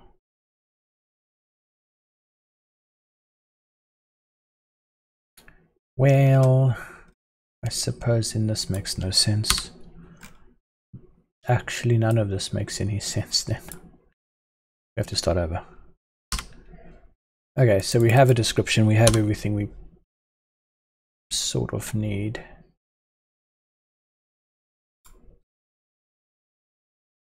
Um, let's just remove the commenting for now because we don't know what the fuck we're doing yet. Uploads quote item. Okay. Uh, let's just fucking remove this as well.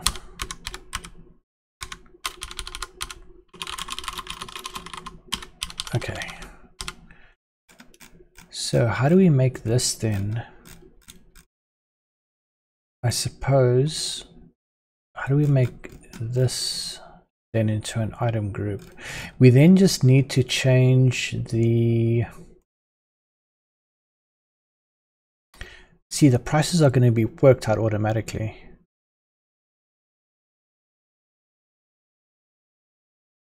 So we might need our own init function.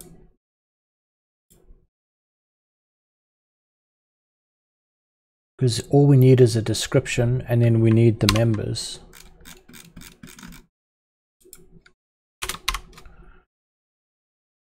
So we need a description. We don't need the cost. That's automatically calculated. Um, unit cost markups. The markup we could actually have as a multi-level markup even ah that might actually be quite nice to have. So markup we can have here. So we've got our own markup our own description. We've got our own quantity. Our own unit. And our own info. I think that makes sense. Now, items that are going to be calculated based on the members is going to be the price, the total cost,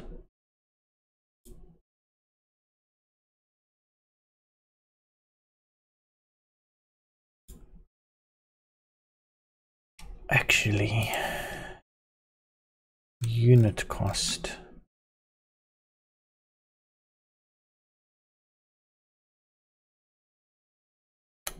unit cost we need to get unit price uses unit cost with self markup multiplier which is fine we just need to grab the cost of the item then that's all we need to get is just the cost of the item. Everything else is calculated based on that one one thing. Oh, well, let's fucking try and see what happens. So all we need to do is just override the cost. And for that, we are going to just copy this line and shove you in here and this is going to be members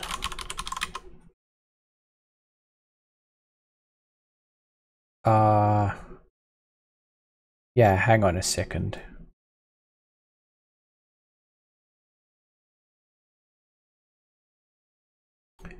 we might actually not be able to do that we need to take the members total price, which is after the markup has been applied. So if we have markup defined for a member item, it'll take the price after the markup has been added. So this unit cost will add the markup for all the members together. Okay. Okay, and we can just copy items again. And we can shove that in here and call this members quote item group members members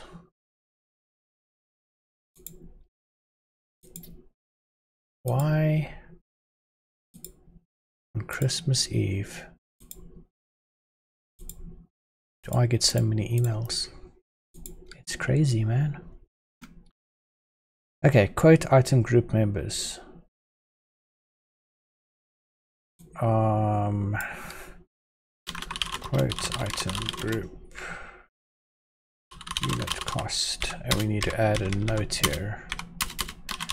The unit cost is calcu calculated using the member total price, not the member total cost.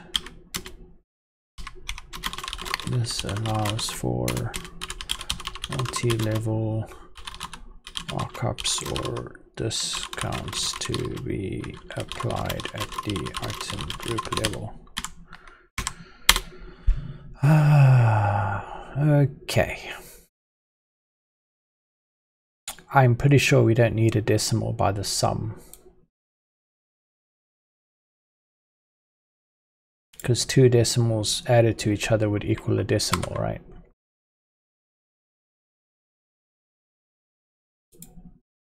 It's only on multiplication and division where we don't get a decimal back, I'm pretty sure. Oh, wait, this should be probably something like this. Unless we had a problem with that. Yeah, we did. So that return could be an int. Okay, no, no, no, no, no. We add a decimal back there. That's why that's like that. Okay, so the unit cost of an item group is based on the total price of all of its members combined. And that total price includes the, the markup multiplied or added onto the cost and multiplied by the quantity. Okay, so that should be good. So we got the cost and that cost is now going to be re-multiplied with the markup for the item group, be it a positive or a negative amount.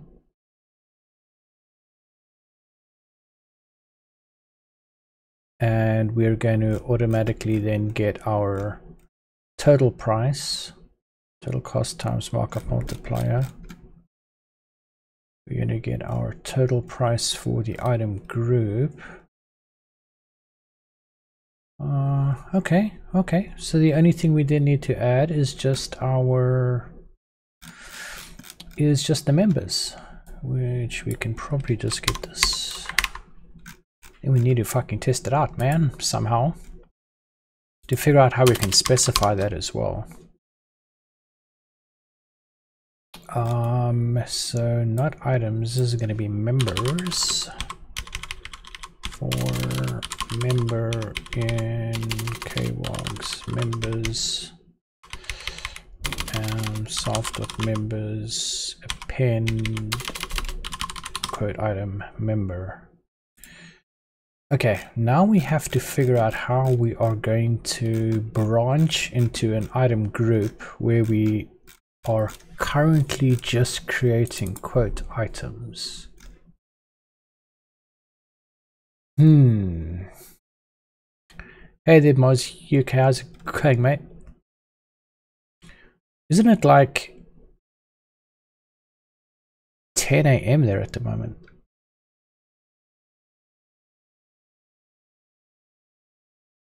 Ah, it's still morning, right? 1033, yeah. Ah. Okay, so there'll be an item that goes into a section. So maybe what we need to do is hmm Ah, sounds great. Got your brew and going to put a couple of hours into learning Go. Good old Go, right? Um, this will be loaded into a section. How are we going to...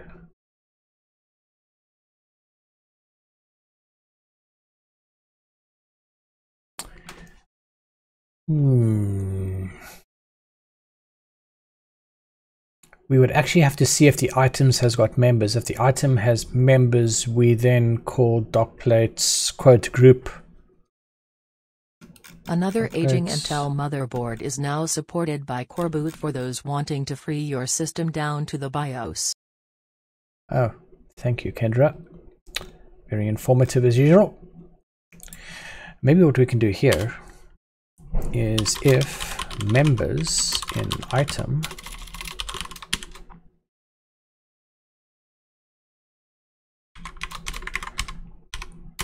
we then append docplates quote item group. Else we append docplates quote item.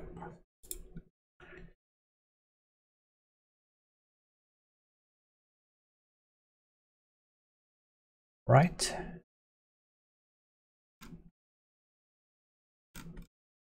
Maybe. Maybe. Let's see if it crashes without even doing anything. Nope it looks good okay so now an example of what this is actually going to do um let's take quote 4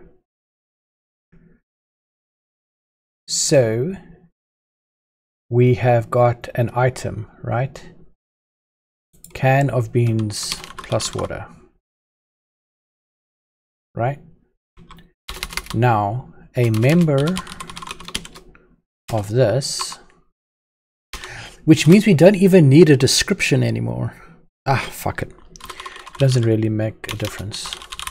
Um, we got our beans, right? And our beans is going to cost us, say, 10 whatever currency we're working in and we've got our water which is going to cost us 2 and we got a markup on this specific item say we got a markup on the beans of 50% markup on the water of 50% but can we add a minus here?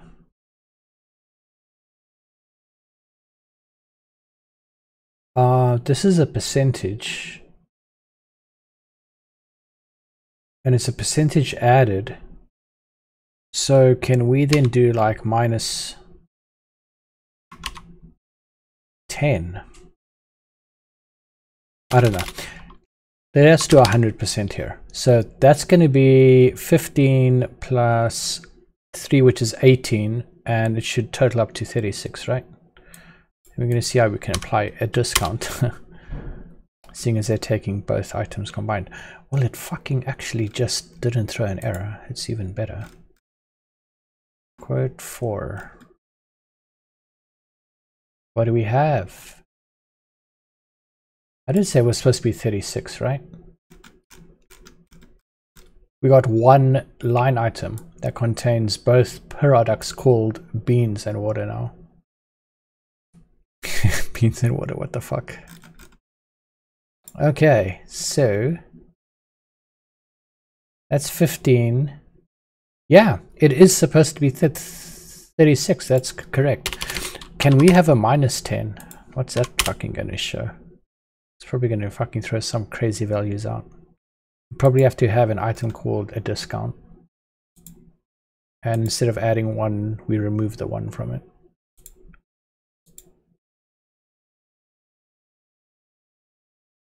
Well, we got 1620 and it's 10%, which is 80, it was 18. Does that even make sense? Hang on a second, where's the calculator? Uh, that's 18, right? Minus 10% from 18 is going to be 1620. That's what we got. Great stuff. So we can add a discount now as well, which is just a markup of minus like 10%. So the normal markup for your beans is 50, normal markup for the water is 50, but seeing as you're taking both of them at the same time, you get minus 10 and it comes up as one line item. Now what happens if we have a quantity of 2? We should probably change QTY to quantity to be to be honest. There we go. We got 2 at 1620, which is 3240. Great stuff. Okay, so our item group is now working. That's actually pretty cool. I like that. I like that. And unit is going to be can. Per can or per bucket, a bucket of beans and water. Because why can't you buy it in a bucket, right?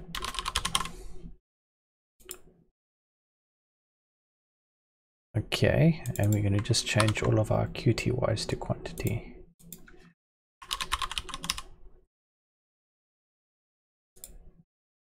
Um, uh, we probably need to change this over here as well. Somewhere we already have quantity here. Oh fuck, we also got has quantity. Ah. Uh, ah. Uh let's change everything. And we probably have to change over here as well.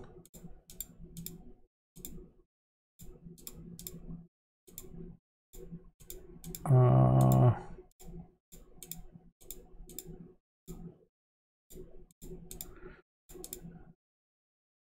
uh, fucking change all. Just give me a second chat. Someone is fucking sending messages here.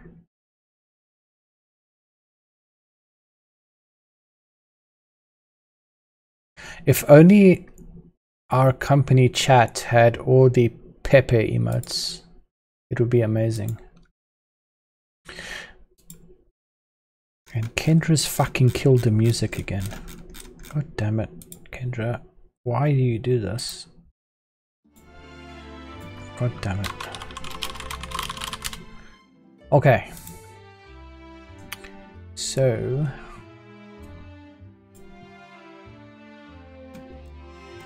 Um, It was not me. What? It was.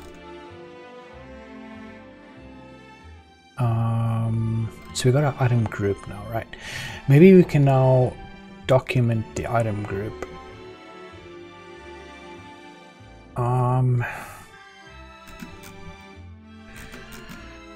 And then we can start adding it into our class that can calculate that.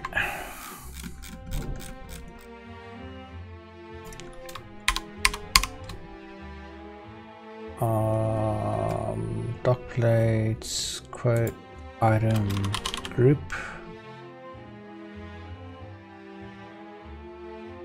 and we got a description why isn't the markup here? That's weird.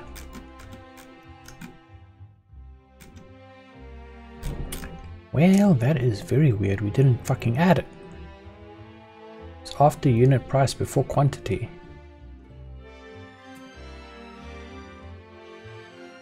Ah for fuck's sake. After unit price and before quantity. This is optional decimal, right?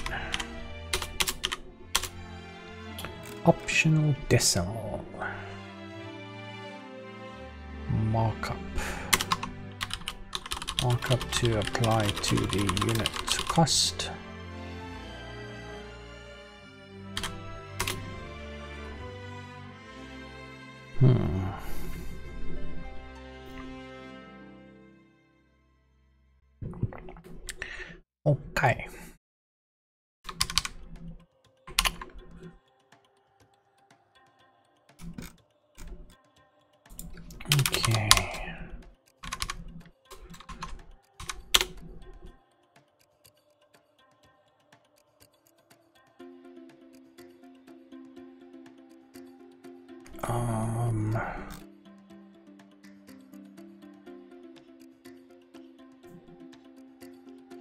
So this thing is not really properly ordered here. This might have to go after quantity. Okay. We should probably also put here markup to apply to the unit cost in percentage. Right? In percentage. Eg10 whatever. Add a example. Okay. So similar thing would then apply to our item group over here. And we've got a description a unit, a quantity. We don't have the cost because the cost is calculated based on the members. We don't have a price because the price is calculated based on the members. Um, we have a description, unit quantity, and markup. Description, unit quantity, markup, and then we have members, which is a list of any in this case. Well, it's actually a fucking dictionary, but might add support for other things later on. Um, um, quote item, ah, fuck. Um, quote items that form part of this group. takes the same structure used by class. I need to get a handle of how to specify these links. Um, docplates, quote, item.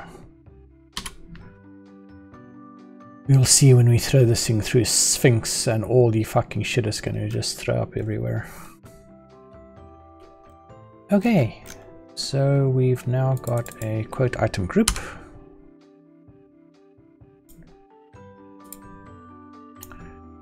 Da, da, da. Format everything to look nice. Oh god, we got 40 fucking errors. That's just madness.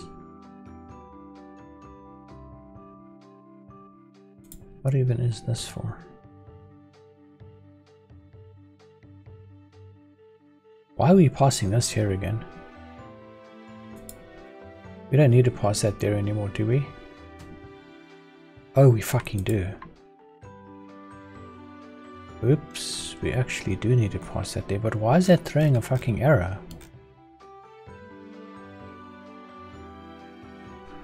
Oh.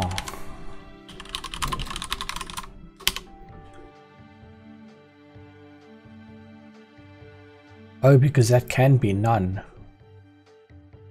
Well, that kind of fucking sucks. Um, it's never gonna be none. Um...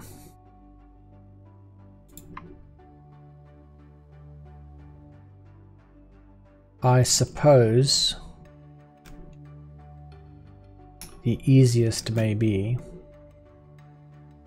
is to fix what this is to being optional because it says optional here anyway. And then over here,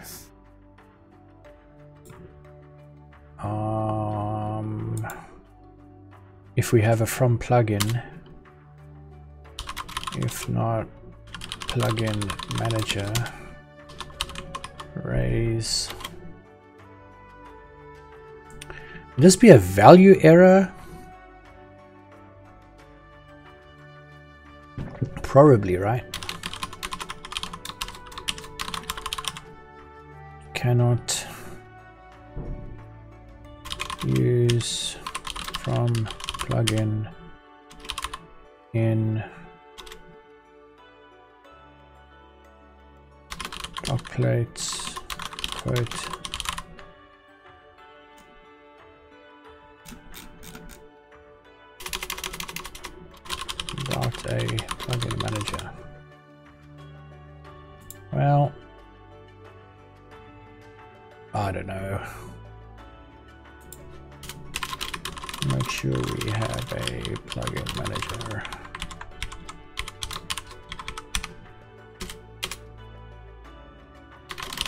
do, ask all plugins for their quote sections passing memory section specification. Oh god, there's so many comments everywhere. Jesus. Um. Oh no, I see I expanded my window size past the bottom of my screen. Well, that's probably not good. Oh shit, that's a bit small. You can see in chat, I have to quickly fix the size here. It, I can blame Kendra because of that. She was the reason I had to resize it. Um, there we go. There we go.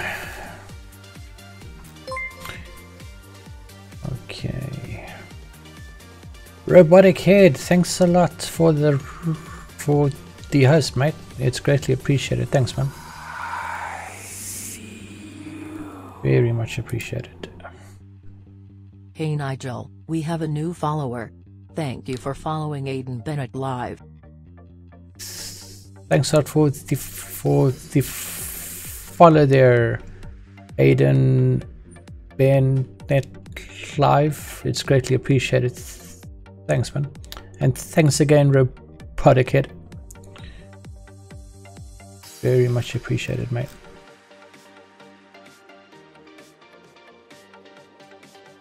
Um,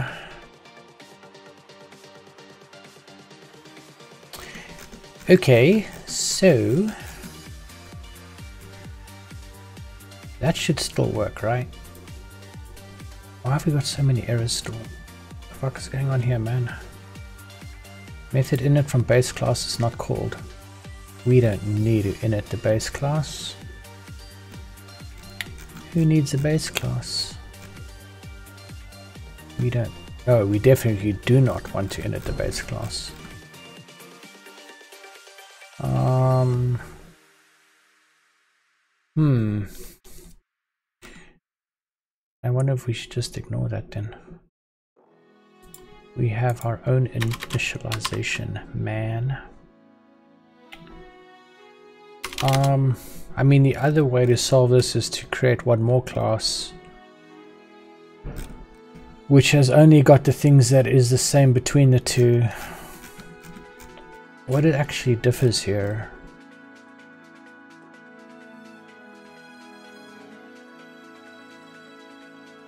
I mean, the only things that we have, oh, we actually have a key error if unit cost is not provided, which we don't use down here. So we can just ignore the error. Um, what was that error anyway? It was super init not called. Well, we don't need you super init. Equals super. Oh shit! I can't even spell disabled right. Super init not called. Oh fuck! I can't even spell called right. What's going on? Okay, is there anything else obvious here? Should be placed before from... Okay, you your ordering is a bit fucked up. You can remove the plugin manager from here then, I guess. I don't know where that disappeared to. Um, when it was too complex, well, yeah, we'll sort that out. It's not actually that complex, but anyway. Okay, so this should still work, right? We didn't really make like any breaking change. And if we check that again, hang on, did that actually just get opened or was it already open? Okay, a bucket of beans and water, right? Yeah, that's changed, great. Okay, cool. So now, if we were to return the quote information from our Python,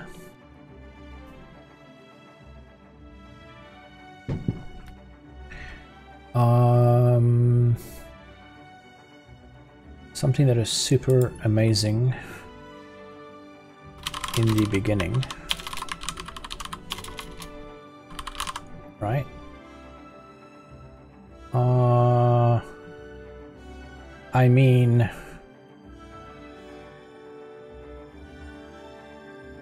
Uh-oh. Do we have to create these ourselves now? We create the section ourselves. Uh, let's try something section items, right? Item one. Let's try and document quote item um and we can pass it a description. Fuck that's even if description equals some item one with a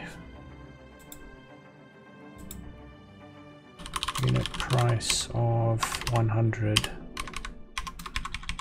it's oh for fuck's sake. Why am I always pressing the wrong fucking keys? Item 2 it's going to be some item 2 and it's going to be 10 and then we need to you see the problem that we have now is the group is built using keyword arguments in the members and passing it to the class.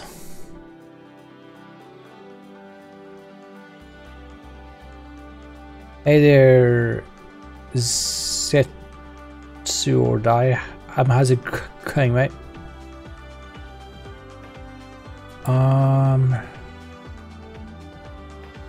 we probably have to check if it's an instance of an item here. If is instance member, comma, okay, it's got item. Um, then we can just append it. Else we need to pass it to the class to get an object and append the object. Well that's probably not ideal. Unless we can do this. Oh hang on a second Hang on a second. Hang on a second.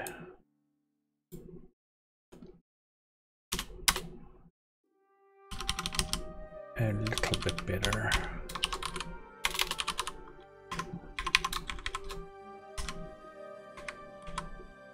Or not. Um... Well, actually not better. Uh, we can't change the value of member, can we?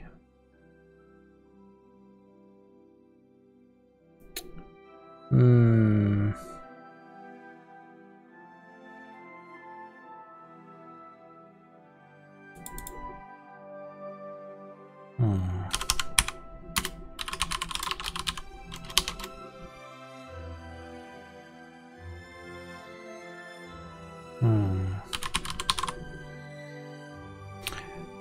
Know what we could do? You know what we could do here?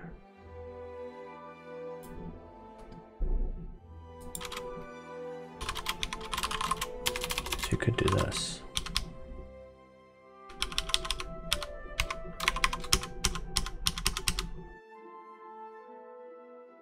That would sort of work.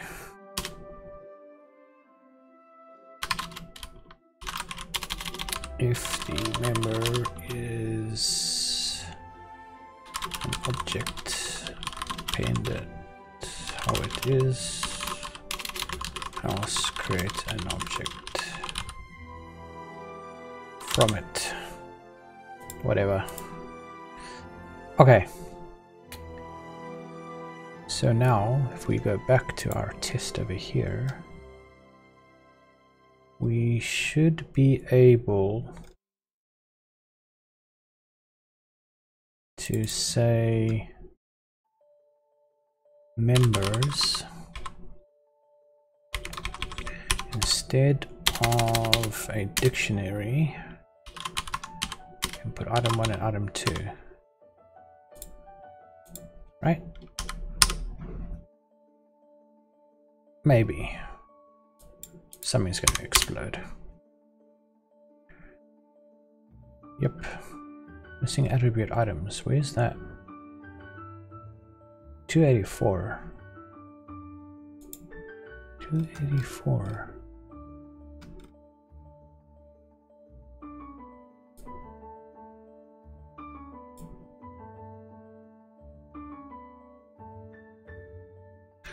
Oh shit.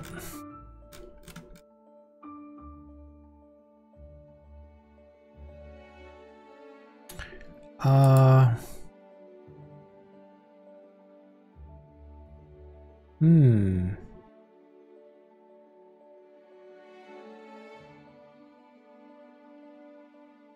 Um What was here before? Oh, it had items. Okay, that's probably what the problem is. Um, items.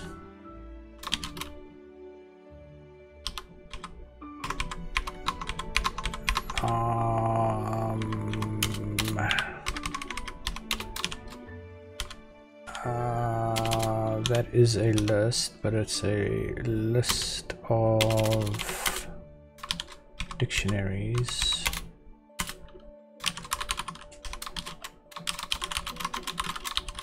this will be item 1 and item 2.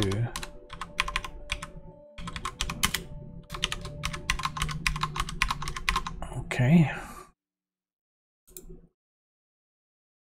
Okay. Uh, missing attribute description. Oh, it's not name, it's description.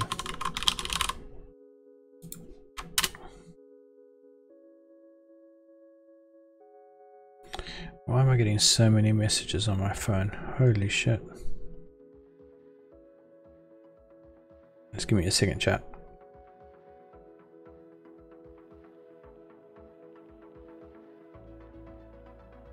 Give me a second.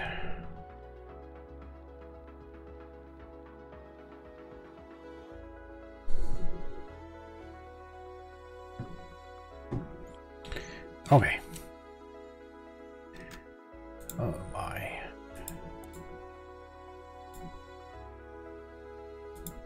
Okay, great. Well, it didn't throw any errors this time. Probably just have to... Here's item 1 and item 2. That is now coming from a class.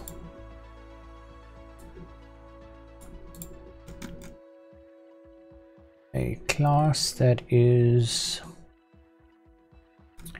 a bit messy, but So we're creating the section, the name and items with an item inside of the section called item 1 and item 2 with two members. Okay, cool. So now that pretty much means we can calculate components of a specific quote item. We can add it to an item group, which we can probably even create here now as well. So we can now go item group one is equal to um, item group and we can have a description which is going to be can we do something like this? Description equals item 1 and item 2 and members equals a list of item 1 comma item 2 right. And we should be able to replace this now with item group 1 But now I think it's not going to like that because it's expecting it to be a keyword argument. Yeah, it's not iterable. Okay, we'll have to fix that then. If... Well... We have to then check if... This is in the section, right? if is instance. Item comma dot plates item group. Then how the fuck do we do the other one? Oh my god I've lost it. Oh no. Fuck Ah, uh, must be up more. Hmm. Actually, now looking at it, I don't really like how this is. Um, it's harder to read when going fast through. Would rather it just be fucking 20 gazillion lines longer.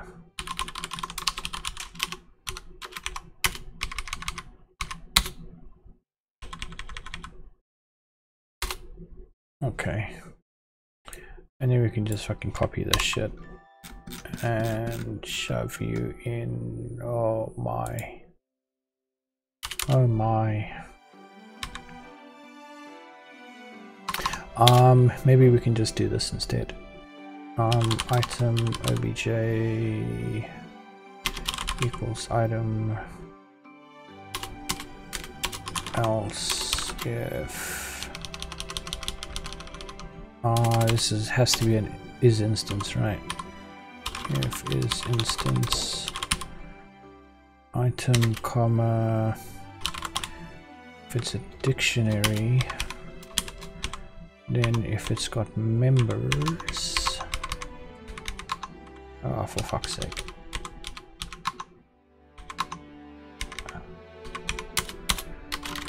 Check if it's a dict.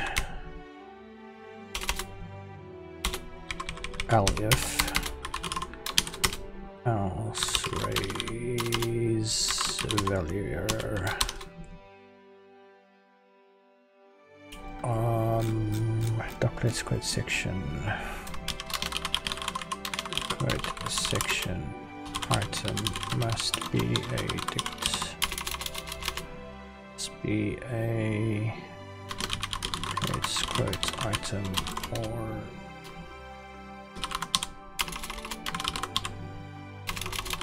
dict whatever. Ah.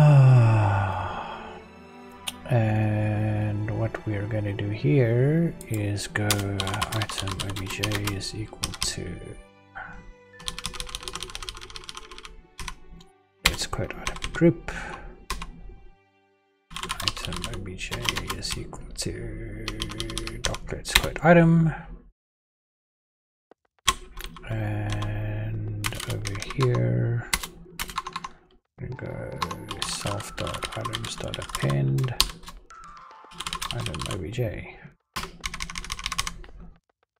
now, why are you giving an error, you fuck? Incompatible type assignment. Oh, you know why. You, my friend, are actually a doctorate's quote item. If you didn't already know that. Um,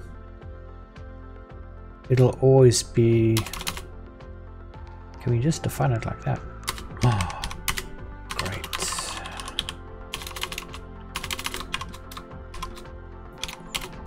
Make my pie, pie, whatever, make mypy happy. Sad face. Okay. Well, it worked. Nice, nice, nice. Nice, nice, nice. So now what we have here, I can't even remember what we had. It was this one over here, item 1 and item 2, right?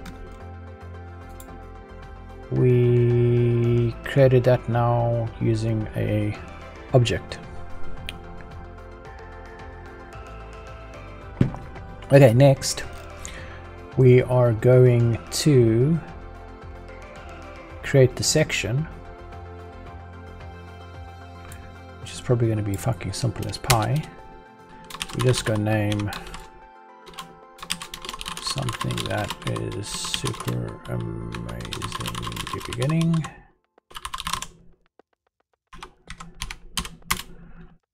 Oh, why do I keep getting those fucking pop-ups? Items. Item group one.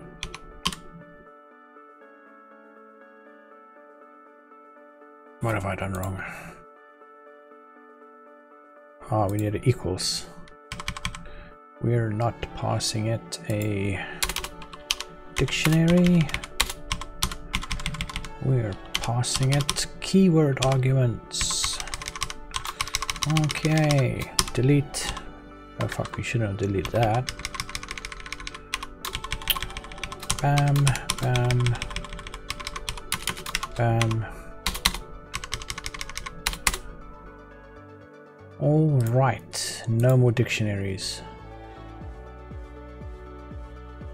Oh, black, I actually preferred how I had it, not how you decided to reformat it, because this is not going to be so short in the future.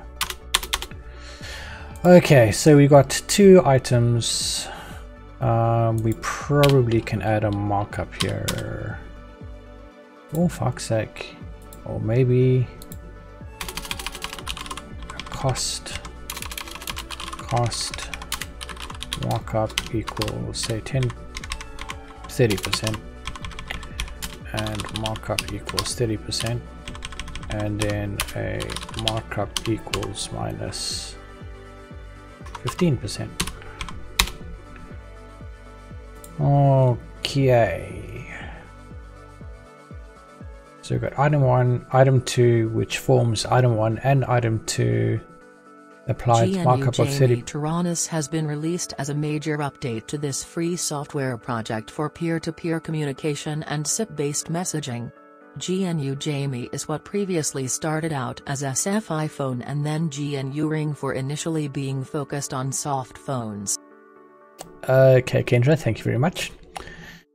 Um, so we got item group one, which is contains the two items inside of it. We get a 15% discount on that. Um, we've then got them being added to a section and we append the sections that we are returning from the plugin and we return them. And all of that just from like a specification of oh, we now need to grab the data to be able to change it. So we're going to pass the data to the well we are actually passing the data to the thing so now we can add additional attributes that are handled by the by the product plugins themselves so for instance um, what we can do over here is we can say something like um, if data in section um um uh, I don't know. Let's just say speed equals one. If data in section let's just try something simple. If speed in section data speed equals section data speed. And then over here let's just fucking throw speed in here as well. Okay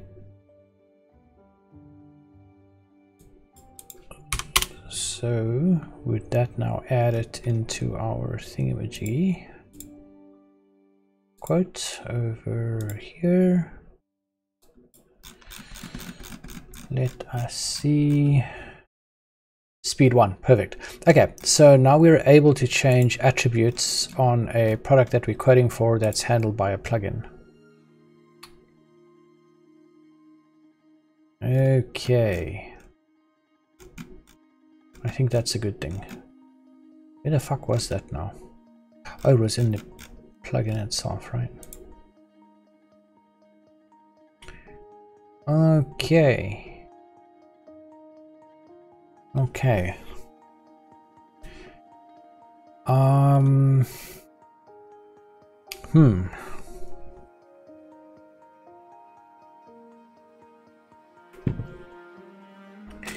Now, how are we going to go from here?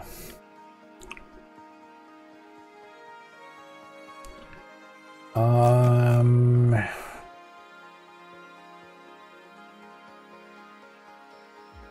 we have got the quote, we got sections in the quote, we got items in the sections, we got item groups in the sections, we've got our quote, we got then the totals that can be displayed at the end. Let's just check if the totals are correct as well. So we got 15913, 15913, 15913, it is being added correctly. Okay. Um, let's add a quantity for testing purposes. Uh, we can add a quantity to the group. Let's add a unit. Um, I don't know, what can we call this? Um, per bucket. and we're gonna have have a quantity of three. Um, um, hey there, radio signal. How's it going, mate? Um, there's some info on it, as as much as I could write up fast. It's basically a a document templating system that templates um, latex and HTML and you can generate PDFs from that. So the PDF I have at the moment may seem very simple, right? I've actually removed all of the branding and everything that's at the that is at the top over here. I've removed there is a there is the background image as well. There's also things on the side. Um, I've removed all of that for the testing I'm doing at the moment but it actually looks a, a lot more interesting than what you just see over here. This is only a very small portion of it that I've removed everything from. For instance, we have things like um, I got QR codes as well, although I can't open that text file at the moment because it has some um, some information in that shouldn't be in there and there's a there's a there's a stamp as well that actually creates a stamp at the bottom right hand of the page that is completely randomized. What is the end goal?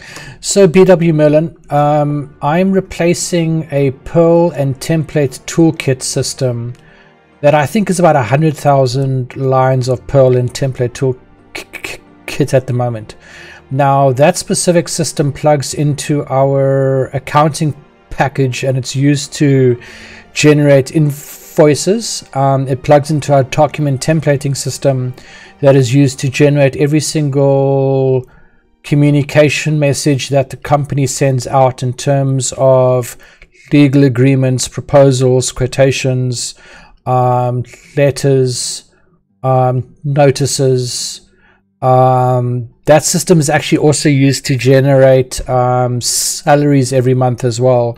It's got a Perl plugin that has got all these salary calculations and it pulls it in from a um, from a JSON file as far as I know. And it does all the calculations for salaries. It pulls in all the time um, sheets and everything, it generates a summary that is sent through to our accounts department and then it generates salary slips for every employee. So it's used throughout the companies that I have. Now, one of our suppliers changed the way in which their product is being um I would not say built, but the they've they've released a product to change a product that they have. So they have a product at the moment, and they're notorious for instead of reducing the the fee of a product to bring out one more instead with more restrictive terms and conditions.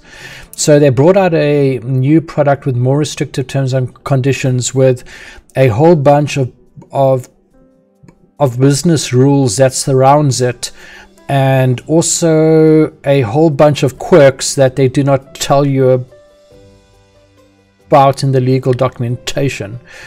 Um, so instead of me trying to rewrite about, I think it's like 20 or 30,000 lines or so of template toolkit that's used to build a quote based on a specification um, I would rather opt to rewriting the templating system in Python, adding support for quotations and having Python build the quotation based on a specification instead.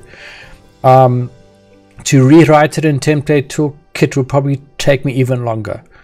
Um, it isn't the easiest thing to do a complex calculation of cost prices, um, um, and components of a service than it would be to do it inside of Python. So I'm pretty much rewriting a portion of our document templating system in Python instead of in Perl. Um, that's pretty much what I'm doing at the moment. So the end goal is to being able to generate a quotation based on a complex specification. Um, that's pretty much the only thing that I actually need at the moment.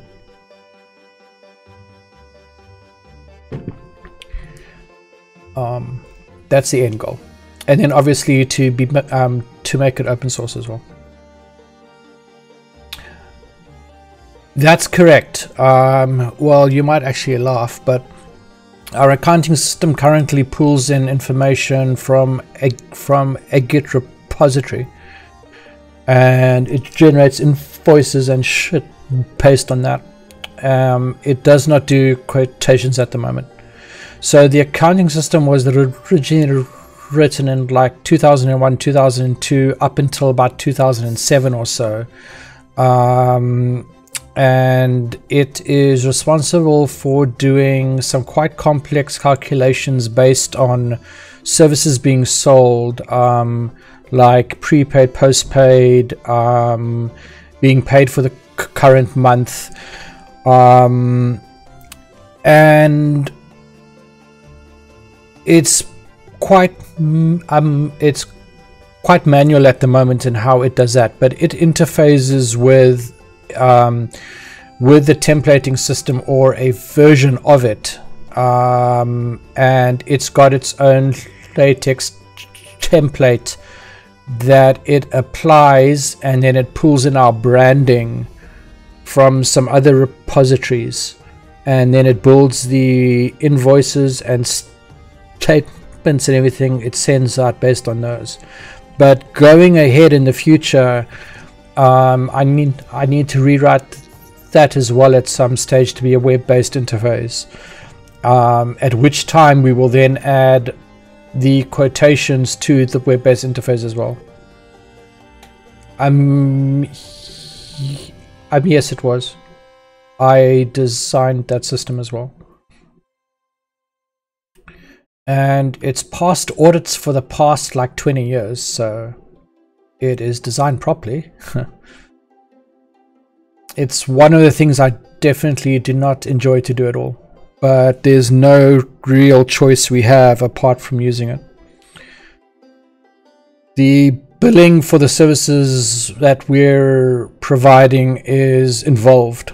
Um, it's got like a minimum commitments. Um, it's got tiers of of discounts based on volumes Um,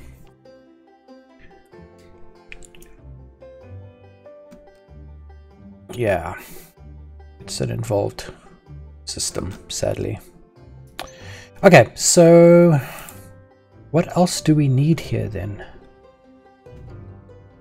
Sounds like you did a good job, but 20 years and things change, you learn new and better. Exactly, exactly. So I've pretty much learned quite a few things over 20 years.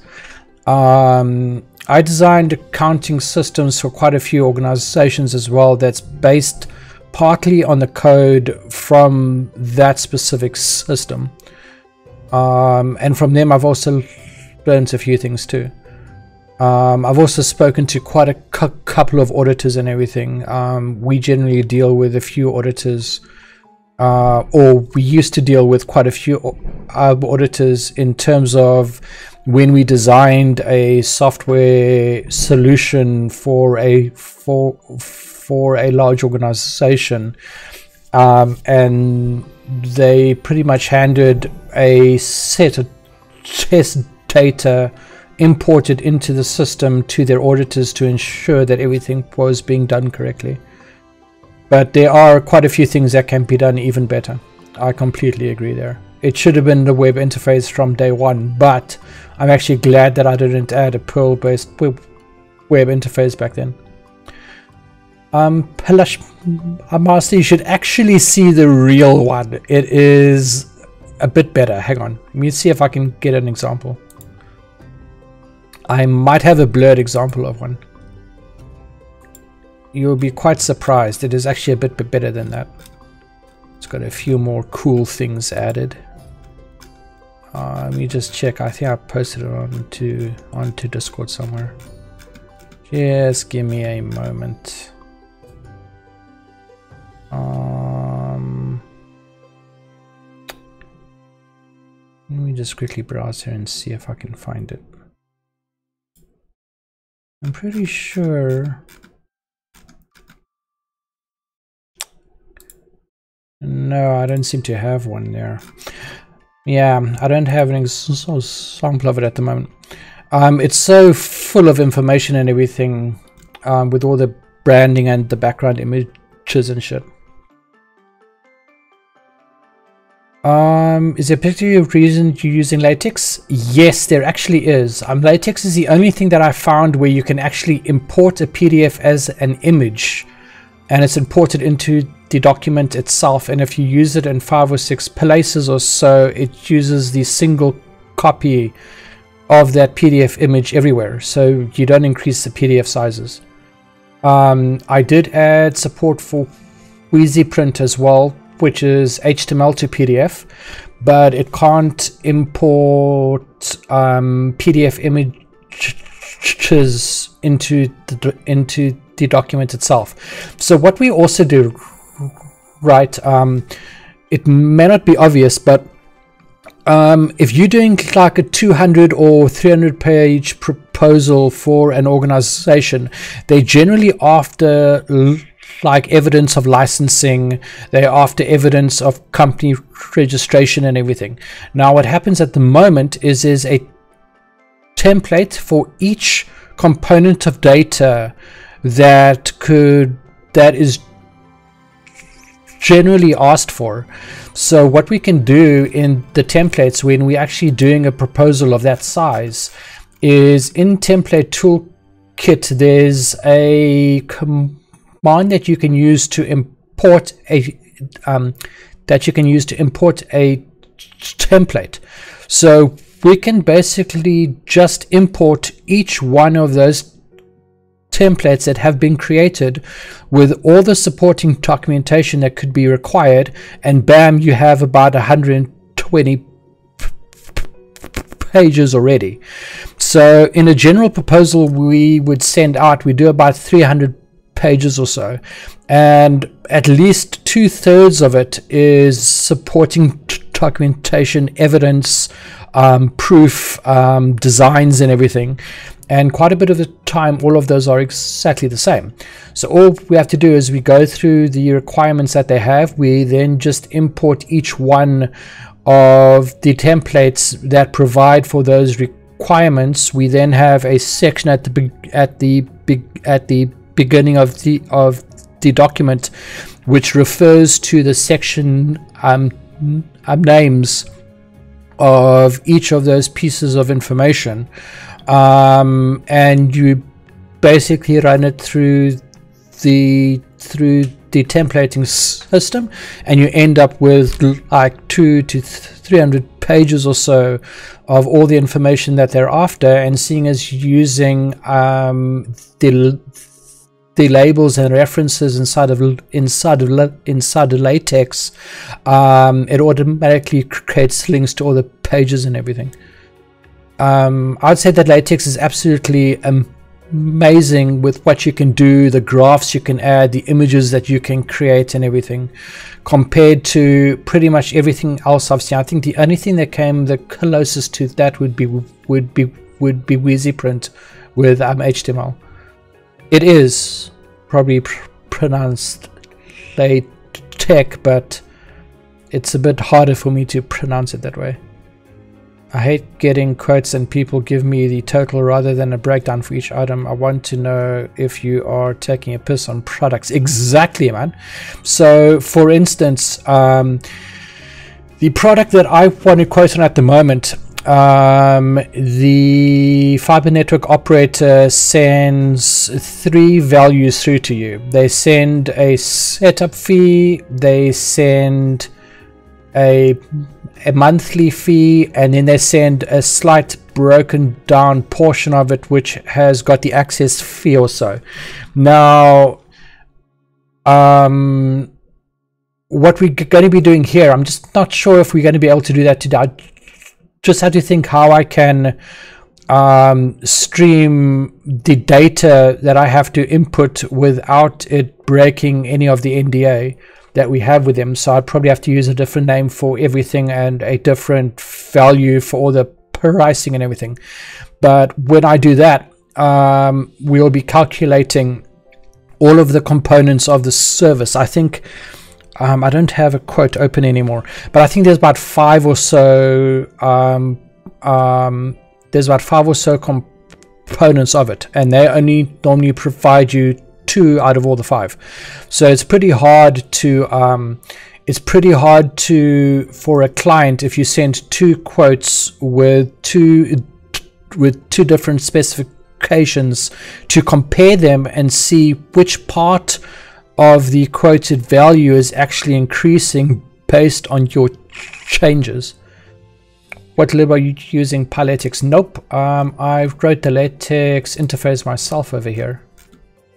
It's just a Jinja, well, it's just a plugin um, that's got a basic Jinja filter to do escaping, and then I call gin, um, I call latex myself over here using latexmk. I don't use Pi. I think I did look at Pi at PyLatex. Let me just quickly check that again. Just give me a second. Uh, where's my browser gone? Yes, PyLatex. I think there's a reason why I didn't use that. Oh my. 140 emails saying um, saying Merry Christmas from the same person. What on earth is going on? Anyway, um, PyLatex for creating and compiling latex. Uh, okay, that's all good and well. Uh, yeah, this I don't think would work for me. Um, I mean, you could add stuff to the Preamble. I'm not entirely sure. Let me just quickly check the source of that. Um, Tixie's rule, what do they do here? Adding nodes and shit. Um, GitHub PyLatex. I want to just see how they build the how they build the document because you can't just call. I'm I'm can't just call latex if you're doing pre-processing. I want to just see if they got a renderer here somewhere. Read one of these two. Um, oh no, they're doing it correctly. Okay, fair enough. Yeah, I don't actually think that this would work for me though. Um, I don't need to add anything inside of Python. Um, it basically just it's just basically taking a template which is already created and creating a PDF out of it. Um, we don't need any of this functionality. And I'm pretty sure you know I'm one that does not like to add third-party dependencies wherever wherever wherever possible at all.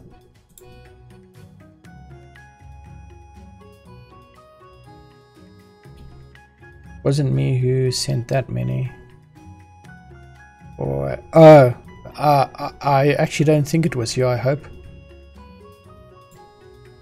We'll see who it was now. I don't know, but they've sent it to every fucking email address they could find. Some computer company. Man, I must say that New Year's, Christmas, and some of the other sort of holidays or so, I get so many fucking emails. Every every every person and their and their dog feels the need to send an email to say to say Merry um to say Merry a Merry Happy fucking holiday or so. It just starts to get a bit tedious after a while. I don't need you to all just say the same thing over and over. It's the same like a few days ago. Um, I mean, okay, do not think me wrong for for for saying um for for saying Merry this, happy but crappy holiday.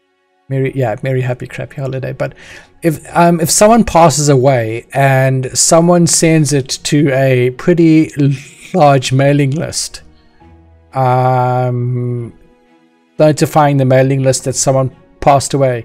Every person on that fucking mailing um, on that fucking mailing list or so has to send a reply to pretty much say the same thing.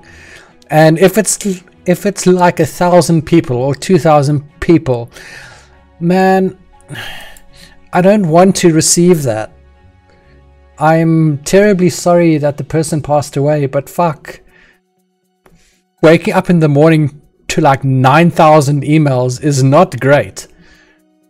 Mm, um, I don't know. I don't know. That's just my thoughts on it. And then to wake up in the morning with like 9,000 emails plus all the merry, happy, crappy holidays, it's even, it's even worse. Um, and then also to wake up in the morning over and above that, every IT company is saying that their system is um, that saying that their system isn't affected by the by the Apache log for J vulnerability is even worse. Microsoft sent me 2000 plus emails once. They had an issue with their logging system. They got itself stuck in a loop. Lol. Crazy, man. Okay, um, got our WeasyPrint latex over here. Log4j. oh my. Oh, um, the other thing that we needed to do was per, um, was projects. So a project is calculated slightly differently. Let me just try and pull up an example. Um, do I have an example that I can just fucking share here? Just give me a second to find something that I can just copy and paste that hopefully has not got anything too crazy in it. Um, give me a sickie. Um, okay. That's the source of it. Let me just grab the latex for that. I just have to replace a couple of values probably. Okay, that'll work. That's some fucking crazy device thing that someone wanted something to happen to. Um, let me just copy that latex block and then we can see what it looks like. Um, where on earth is that block now? Um, just give me a sec here. Um, let me just remove some values and change some names.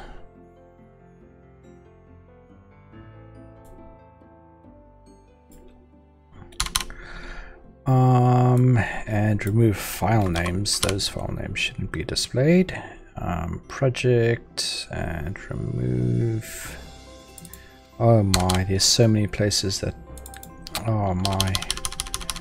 Just give me a second just to um, block out some of these items that shouldn't be shared publicly. And then I'll copy and paste the um, delete text and you can see what it actually looks like.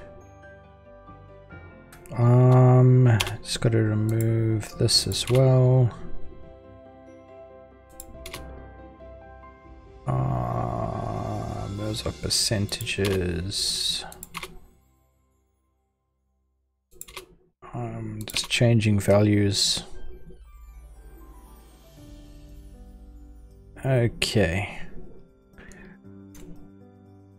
So this was actually for a BDCom OLT, which is some sort of a fucking fiber device thingamajiggy. That someone wanted us to do some stuff with. Um, um, you just remove a few more small things from this. Okay, I think that that might actually be good. And I just need to remove this.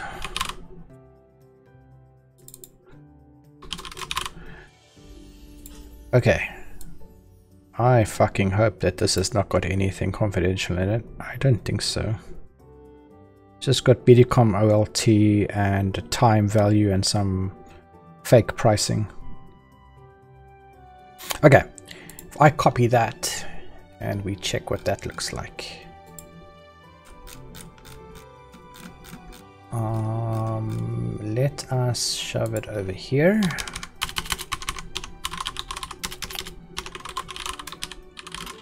Um, old project. I hope that that has got everything blocked out.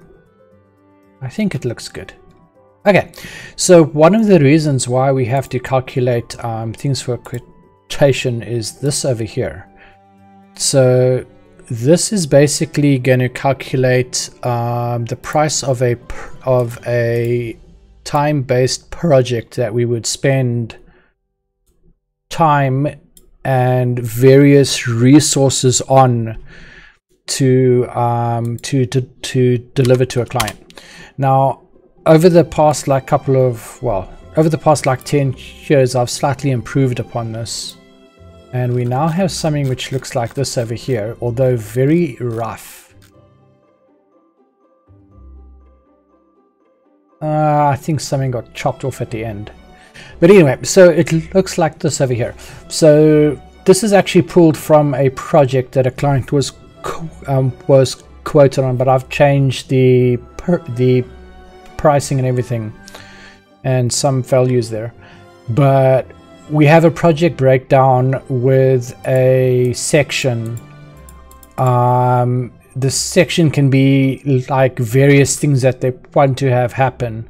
And then the description of what has to have happened. There's normally a, pro a proposal that, well, it, no, no, I changed the, well, I actually I actually wish it was it was that high. But I've changed the pricing on it. Um, so there's normally a um, there's normally a proposal above here and possibly even above the section itself. And then there's a project breakdown that's got the description of all the main things that have to have happen. And then there's a service that has got a price associated with that per hour. Then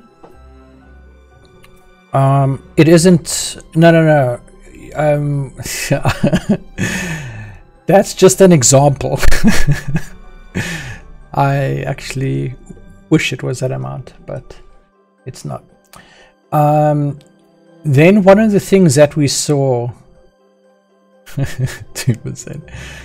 One of the things that we saw was um, quite a few of the contractors that we used in the past used the term days instead of hours. I'm just not sure if we'll be doing that going forward also. But you have the description of what has to happen. You got the service that will be provided. You got the time it'll take to do it, and then and then the and then the totals block below that. There is generally other things added. So autom automatically we generally add the testing that is generally a percentage based of how much the of how much the total time on the project would be at its own at its own rate per hour. There's also project management as well. Generally, that is also based on either I don't know if it's either the value of the of the project at the end of the day or the amount of time it'll take. There's then some other items like um, if it's a development project, we generally use a lab to deliver um, um, to deliver the, the, deliverables for that for. So there would be a lab cost added at the end based on any coding that is required. Um, and that would also have a price as well. Because i mean if we get a client that wants us to um, to develop a piece of software that runs within a specific environment generally we'd be able to simulate that environment on our side but that isn't free. We obviously pay either a cloud provider or um, it would be our own equipment that we use for that and there's a cost associated with it so there's some other items that are automatically added depending on the service that is used. Um, and if that service requires other resources. Um, so this over here, mm, um, if it was a job for like programming or so, it might have a few a few more items and it'll obviously say the, the level of the programmer required to do that. Um, one of the things that I would also enjoy to add is quite a few clients do not fucking understand the terminology like unit testing. They don't know what that is or what that means or so. So we need possibly to have some sort of a form in future that they fill out to say, I want my code tested beforehand. I do not want my code tested beforehand and things like um, things like a maintenance and everything because they also something to be developed then like three years down the line they then complain and shout and scream that's that something isn't um, isn't working anymore and expect you to fix it for free. And then um, they complain about the price of a a yeah push to production. and then they complain about the price of a quotation or so, but they don't understand that if you're working on something like a, a mission critical system, you need a continuous integration and continuous deployment system of some sort. So every change you make to the code base itself is being tested out before it's going to be deployed into into production. So I had a pretty large organization come to us and ask for a feature to be added to their systems, right? Um, and it was a system that controls hundreds of thousands of users. Um, a certain service that those users require to be able to consume the service that they provide. So if there was any problem whatsoever with the software that we wrote for that, you're then talking about hundreds of thousands of, of, of users that would call their various support centers. Now, there's no way that I'm going to just throw up like Visual Studio code, create a single Python file, and write that solution for them in four five hours or so. There's absolutely no way because if anything happens, who will they blame? They'll blame us because we broke whatever fucking service they have. So they obviously expect everything to be for free and they do not understand why it is so expensive um, for something that sounds extremely simple to them to be created. Um, so at some stage in future, I think that we need some sort of an online form where they can fill out, okay, um, I actually have one somewhere. I just don't know where that form is. Um, where it asks them various questions like, do you want your software tested out um, after every change that is um, every change that is um, um, made and everything, and then how many users will depend on your software and shit like that. So from our side, we can understand the sort of impact on the on the business that they have would be if that service were to break. Because at the end of the day, we offer 100% guarantee and and and and 100% uptime for the software that we deliver. And if something breaks or so, we can then just point them over here and say, but you didn't want any testing at all. You said you'll be testing it yourself, sort of thing. So you can pay $50 or so, but you aren't going to be expecting the software tomorrow and it wouldn't, and, and it would never to, to have any bugs. How big is the LaTeX installation on the server? Um, late, well, actually probably pretty fucking big, to be honest with you. Um, I think that I've I've got quite a couple of latex things installed. It's probably about two, probably about two G or so. Um, BW Merlin, um, I own an ISP. Yeah, I suppose you could say that I work for one as well. But um, I primarily design software and solutions, I'd say. Credit union websites probably need this stuff all the time. Yeah, they probably do. Now, a very funny thing is, there is one telecommunications provider that's got about 30 million clients, right? Okay consume the 30 million there. Their billing system is fucked.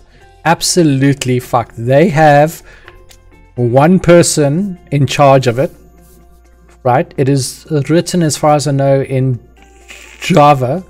They got one person in charge that's got a team of juniors that basically makes changes to this system. So well, the amount of disputes that we have with that is absolutely unbelievable. Can I learn Python within a month? Um, depends what you classify as, as actually learning. Whether you'd be able to print um, something like hello world, I'm sure. You can probably do that in a few minutes or so. No, there's no way you can do that in a in a month.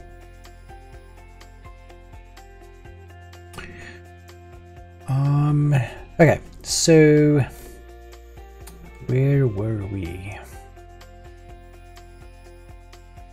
We need to do projects next. So at the basics of the project, we probably have to copy over our quotes into projects now. It's not going to be the same. Um, however, a project needs to be able to get displayed in a block.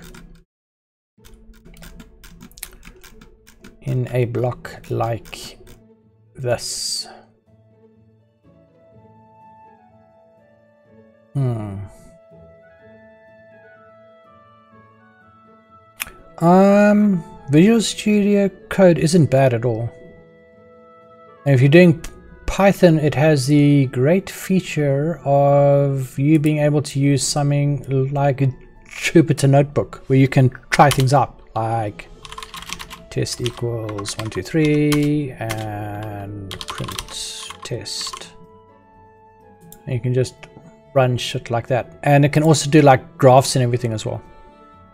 So I find it pretty useful, but I'm sure that there's other things that uh, um, there's other things out there that can probably do the same thing. It just works with me the best.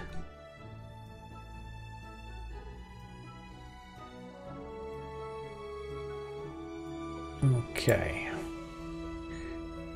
So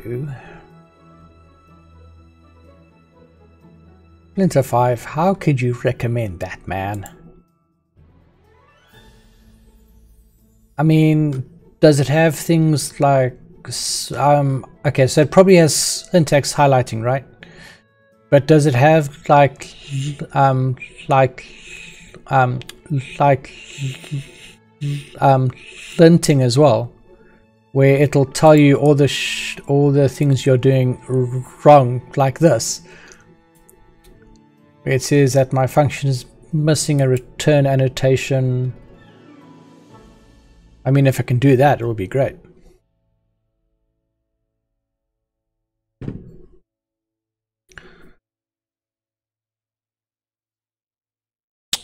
Um, not really. The parser won't tell you if you if you are missing a return annotation. If you're using things like like Python and typing, it isn't an error. It's a warning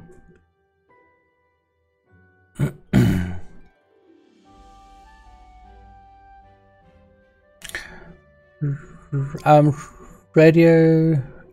Um, everyone uses Python. um, almost all of the code that we have is in Perl, sadly enough. But trying to find programmers for Perl is almost Im Im impossible these days.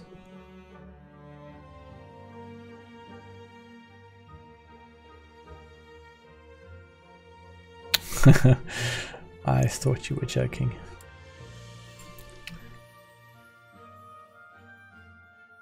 Yeah, finding Perl programmers is is a very hard thing to do. I use Python, C Sharp, PHP, JavaScript, etc. Depends what I want to do. Yeah. Yeah, I mean, I think the main reason people don't like Perl is for one, people enjoy to use the most complicated way possible to do things in Perl. It isn't easy to understand what the fuck is going on. I mean, I always use the one example. Um, if we go to something like, um, if we go to something like this is a very good example of why I absolutely hate Perl. Um, we are looking for... Um, what the fuck is that thing called now? Um, SOAP::Lite. Why I want everything changed away from Perl, I will show you shortly. Because I can't deal with this when a client is Oh wait, this is not what I'm looking for. I'll show you why.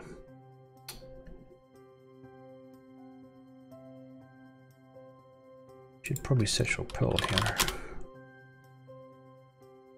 Okay, this is probably what we're looking for. And we are looking for transport HTTP. Now, when you are trying to find a bug, right? And you're very sure the bug is in the API or the or the library that you're using. And you've just spent like hours trying to track that shit down. And you come to something which looks like as soon as I find it I'll show you. I'm sure it was in HTTP. If you then come to something I mean, we could even just take the first fucking block here as an example. If you come to something which looks like this, right? Just, just, uh, it, I mean, you don't want to be seeing this when you provide an SLA to a client and he says that there's a problem or a bug. And now you're trying to figure out okay what what the fuck is dollar sign underscore two supposed to be with absolutely no information or documentation at all uh, so what what does one do you know you start crying because fuck but that isn't the worst. There's a even worse part here that I have personally had to track through. Or drowned through. I was so sure it was in the HTTP section here. But it was absolutely crazy, man and they sort of wonder why people don't want to use Perl anymore. It's because the developers that use it don't think properly. Maybe it was in one of these other things.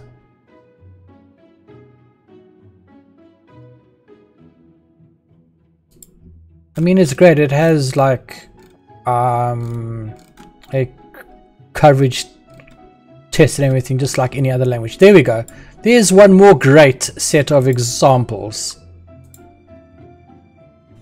Now, I have a bug with qualify. How am I going to fucking fix that?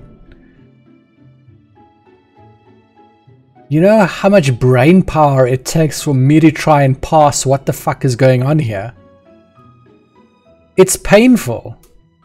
That's why I've spent like I don't know, I've been using Perl for like nearly 20 years or so, probably like um, from actively from like 1999 or so all the way through to like um two, uh 2000 and maybe 19 so like 20 years. And when someone showed me well written python along with a coverage analysis and unit testing um, and how much something like VS Code can be used I switched over. I mean, Python is just so much easier. Um, BW Merlin, this code isn't mine my code has got comments everywhere.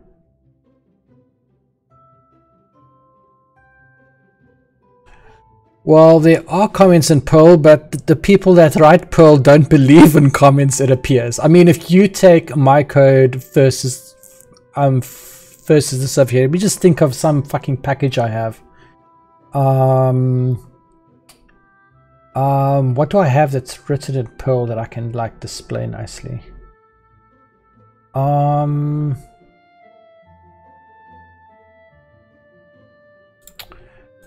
Maybe we can find something. Um, let me show you. So here is your here is what a, um, a typical piece of code would actually look like that you would find, right? Now, how I would write Perl is probably slightly different. Let me just find something that is written in Perl. Um, probably this radius server might be a good example. Um, let us go into um, I don't know if request would have something that I did. Yeah, there we go. There we go.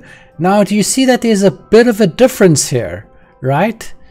This is what my code looks like, right? Variables are named. There's comments. And you can sort of like, you know, read what the fuck is going on. Meanwhile, you take your typical Perl programmer, generally, I mean, I'm, I'm not trying to generalize everyone into the same group here, but majority of the programmers that I've seen that, that would basically write Perl, write Perl like this. So you, there's a bit of a difference here. This is why I hate Perl. I hate it because I mean if someone's shouting and screaming on the other line or so that there's some problem in their software and something isn't working or some report is incorrect and then you end up in a function like this that is providing the incorrect result what are you going to do? It's just painful. It's it's it's painful and it's expensive if you're providing an SLA I must say that Python is easy. You can generally find people that know how to program, um, that know how to program in Python. It forces indentation that, I mean, at first I would have thought that that would be bad, but it's actually pretty amazing. Um, there's tools like black that can be used to automatically format everything. So I don't have to try and make my entire document um, look pretty or have any kind of fucking um, formatting style defined. I can just throw a right click and click format document and there we go. You can then add black to your to your to your unit testing as well, where if any developer you have um, writes code that they don't pass through black first, it can throw an error. Um, you can then do the same for things like Pylint that I use as well. Um, Flake, although I don't think I use Flake anymore, I use Py CodeStyle and Py and PyDoc style because there was some sort of an error in Flake.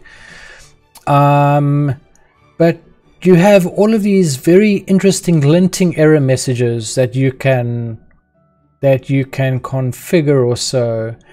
And if you're okay with how they want your code to be written, it's great. You can just fucking enable everything. And if anyone writes code that does not look pretty, it can just throw an error and refuse to emerge. Um, so I don't have to worry about styling or anything. I don't have to worry about complaining at people for adding the doc strings because I have tools that complain about that for me.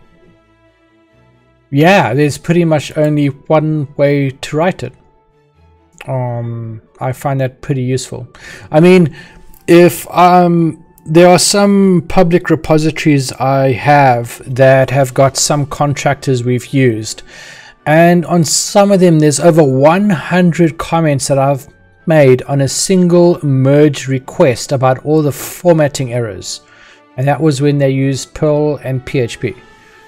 Um, we actually have a code styling document that explains how everything um, has to be formatted for Perl and they just couldn't get that into their head and there's hundreds and hundreds of comments where I say please fix this please fix that please fix this now with Python um, I can have tools do that for me. So I don't have to do that anymore. So it saves quite a quite a bit of time on my side as well.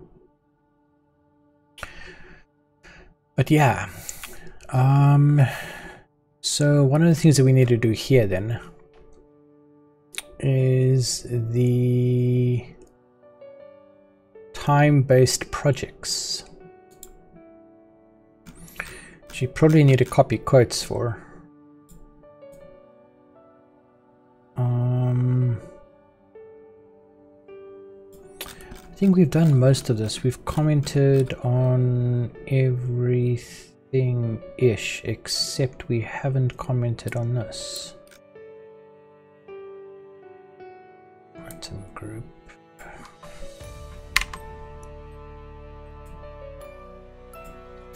We probably have to add some examples as well.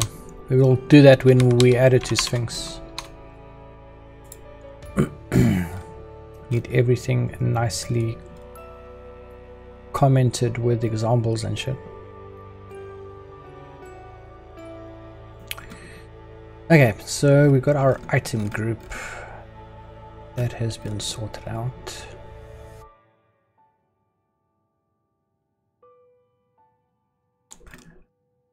Now the thing is, how are we going to add um, time-based items to the quotation and have a summary at the end? Um, unless we can combine it or something. We can have a quote item that is called like time, but then again, the title in the columns are different.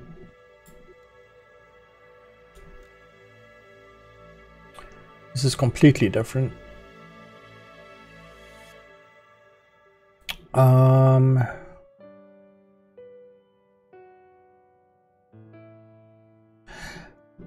if we check a quote collection, what does that use? Because it would be a collection that would have to display it. And the collection needs Total cost and total price.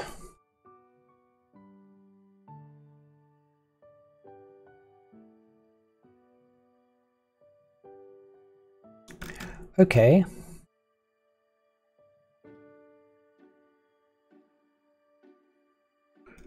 Total cost and total price.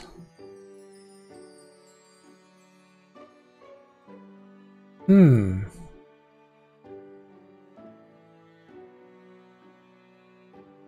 I wonder. Isn't there something in Python now called protocols?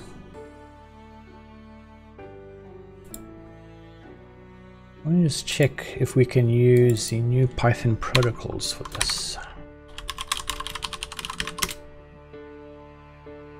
Um, Python 3.8, that should, shouldn't be too bad.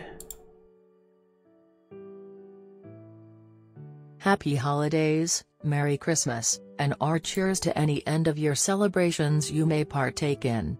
The daily original content what? on Phoronix will continue each day just as it has ah. been for years without any single day interruption but there is also a holiday Phoronix premium special for those wanting to help cap off 2021 and help ensure a successful 2022 for continued Linux benchmarking, performance testing, hardware reviews, and open source news. What? Kendra, the fuck is going on? Where the fuck is the Python protocol?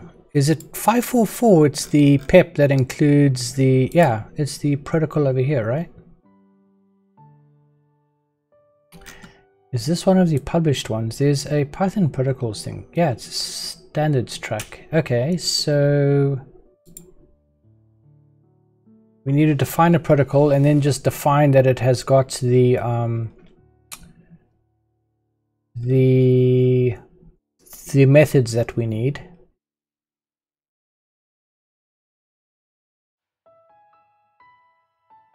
Right. So So from typing import protocol and then we just fucking define it like this. That might work.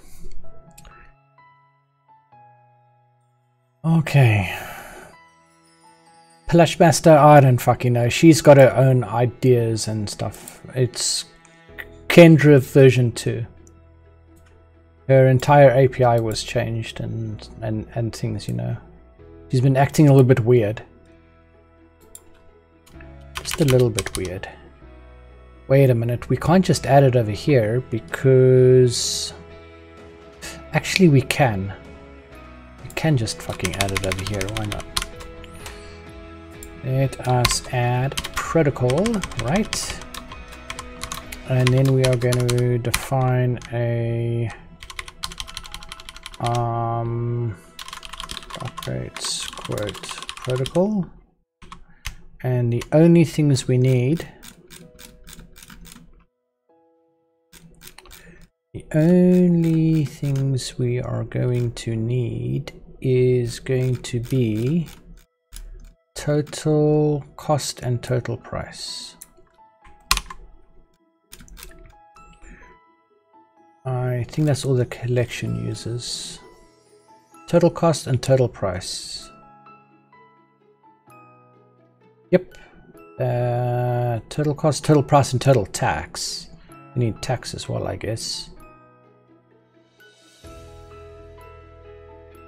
Total cost, total price, and total tax. Cost, price, total tax. Cost, price. Um,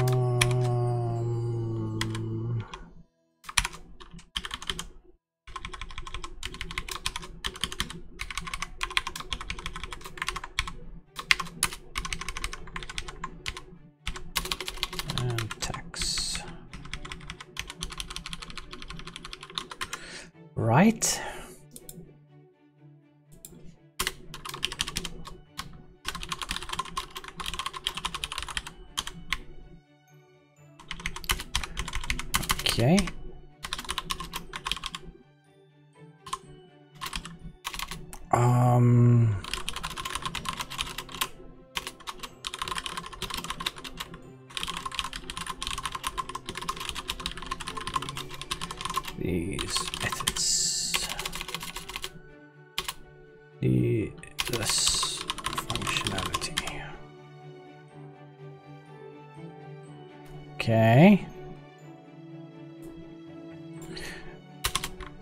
Did read about protocols. I'm pretty sure this is how you're supposed to use it. So we're going to have two completely different classes that do, that do not inherit or anything from each other. Implement a quote protocol, right? Which according to this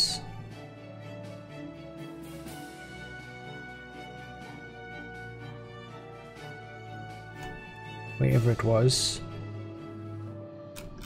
well according to this somewhere we should be able to specify the protocol instead of a quote now to our collection. So if we go to our collection over here, instead of a quote, I think we can use docplates quote protocol. Ahaha, maybe, maybe, maybe, maybe. I assume this is how it should work. How many errors do we have? Oh, maybe it's gonna work. Oh, what we also need is a name. Yeah, no errors. Nice. So we just need something that's compatible with the protocol to be passed to the collection. List of quotes for the collection. these need to be compatible with docplates um class documents quote protocol okay so that gives us oh for fuck's sake I didn't switch back to this. Okay so anyway what we have over here is a protocol instead of a class. Instead of one of the classes we have the protocol defines what we need to pretty much be compatible, right? So we need a name as well.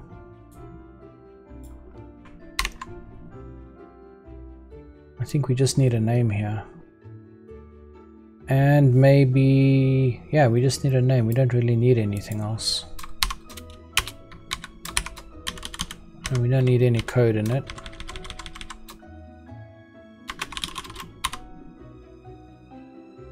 Okay, so we just define a couple of properties. Well, this is the first time I'm trying it as well. And I believe I've actually found a use where it can be something that I would actually want to use. So now, um, so I, I, think the only actual purpose of it would be would be to make two classes compatible with each other when you're using linting. So like I have Pylint and everything enabled at the moment. Um, I would suppose that normally if you aren't using if you aren't using typing, you can just use whatever classes and objects you please. You don't have to worry. But if you've added typing to everything, um, I now have got a bunch of quotes and I want two classes to be compatible with each other. So we can create a protocol that defines the, the, the minimum requirements that a class should have before it would be compatible with the protocol. And then we can just use the protocol instead of the class everywhere. And with that, you then don't have to inherit from a parent. And we don't have to use union either. Because this specific plugin does not know about the one we're about to create, but the one we're about to create is going to use the one that we have at the moment. So we're just going to copy the entire quotes add-on and call it projects. And then we're going to deliver a quote that is compatible with the protocol. Um, I think we see you do not even have to do any inheriting at all. No inheriting required, and it'll still pass your linting. Which is exactly what we want to do. So it's the first time I've ever used protocol, and it seems to work nicely. Okay, so I need to just quickly grab something to drink before I die of thirst here. I will be right back. Just give me a few minutes.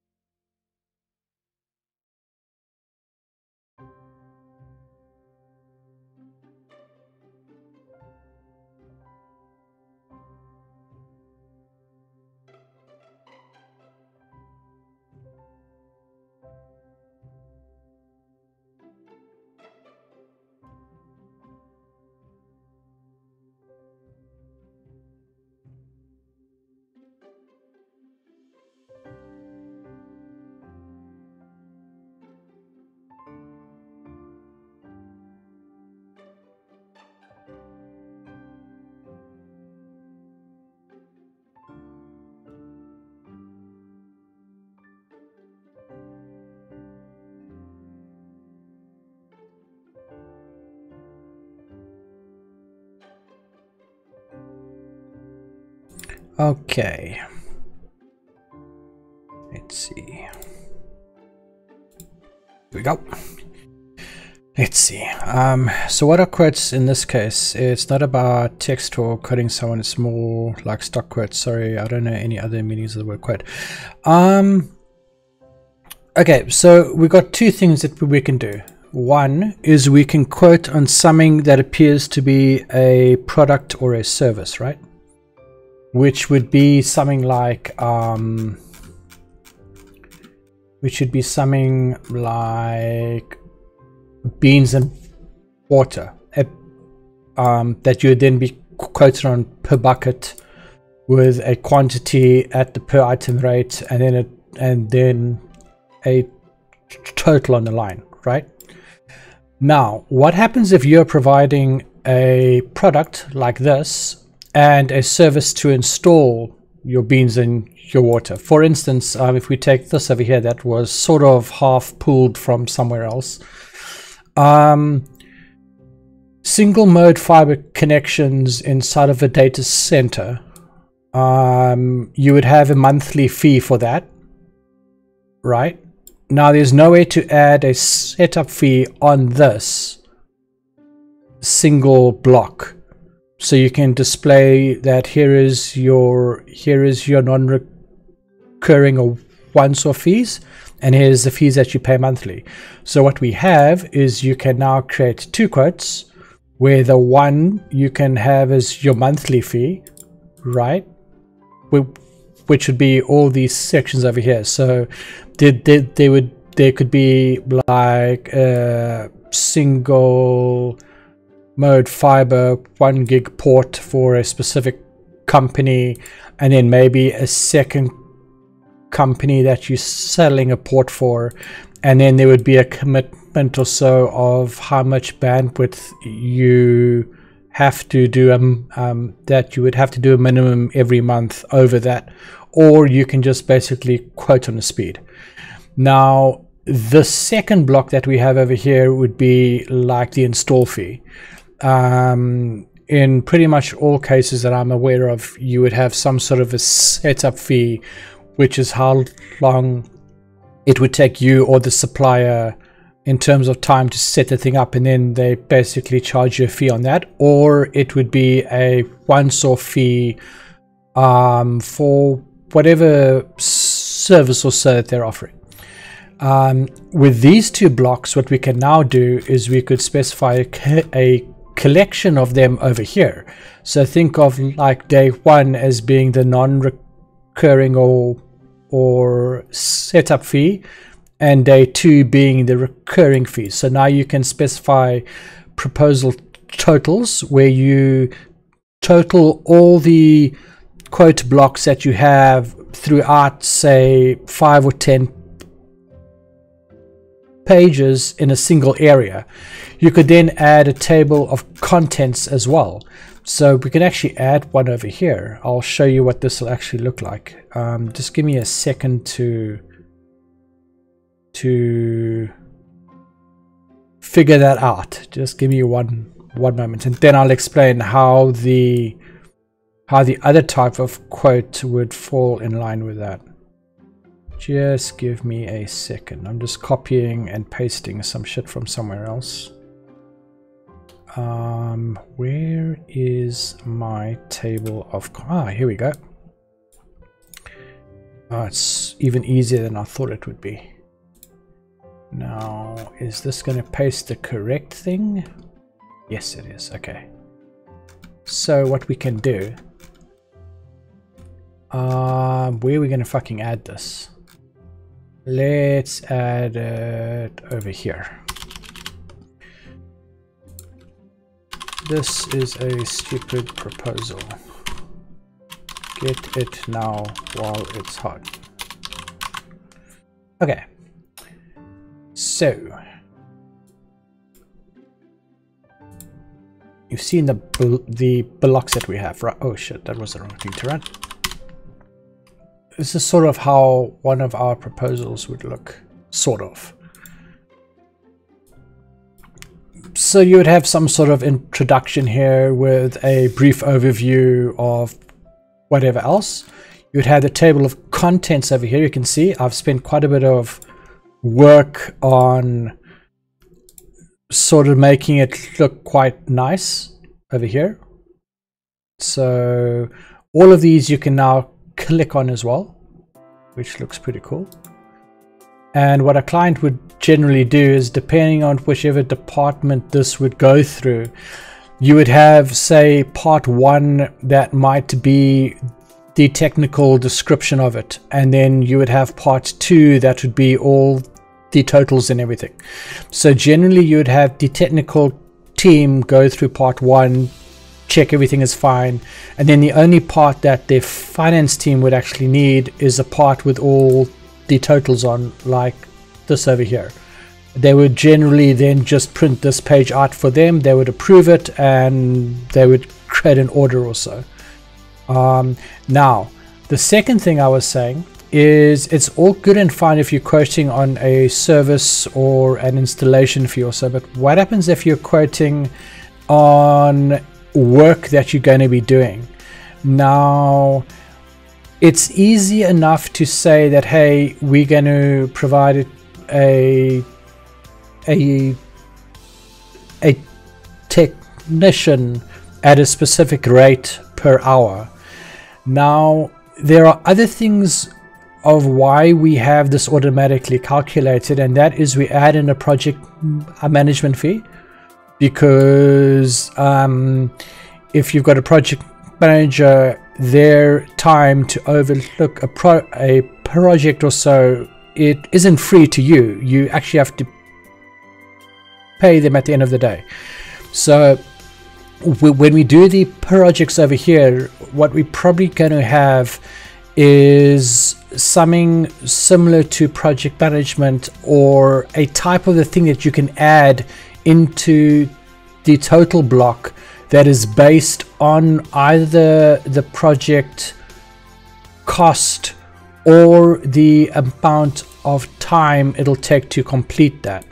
Because generally a project manager would spend a I would not say it's a fixed portion of the time for a a project on following it up, but generally they would follow it up a few times every day, or say, or depending how long the project is going on for, maybe uh, maybe once a day or or say once a week or so.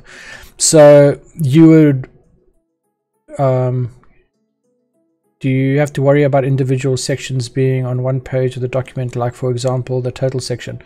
Not really, no. Um, so depending on how many things you've added, these may span more than one page. So I think we have a proposal that we sent like a year or so ago that filled up an entire page on the setup fees and an entire page on the on the monthly fees. just pretty much detailing everything so they can have a sort of a breakdown of what they're paying for and then obviously if they need to look at that in more detail they can then go to that specific section also what would be nice is if we could actually add the is if we could actually add the the links over here to the sections themselves that shouldn't be too hard to do we can look at doing that and actually I can add it to our to-do list. That might be a good idea. Now, ignore the to-do list we have over here. Just move all of that down. That is my plan of integration and everything. So this is how the thing is integrated into our other systems. It's involved, as I said earlier. So um, what we need to do is um, add link in quote total section to section of pricing. So we can probably easily add that. That I don't think will be a problem to add. But anyway, um, so where was I? Um,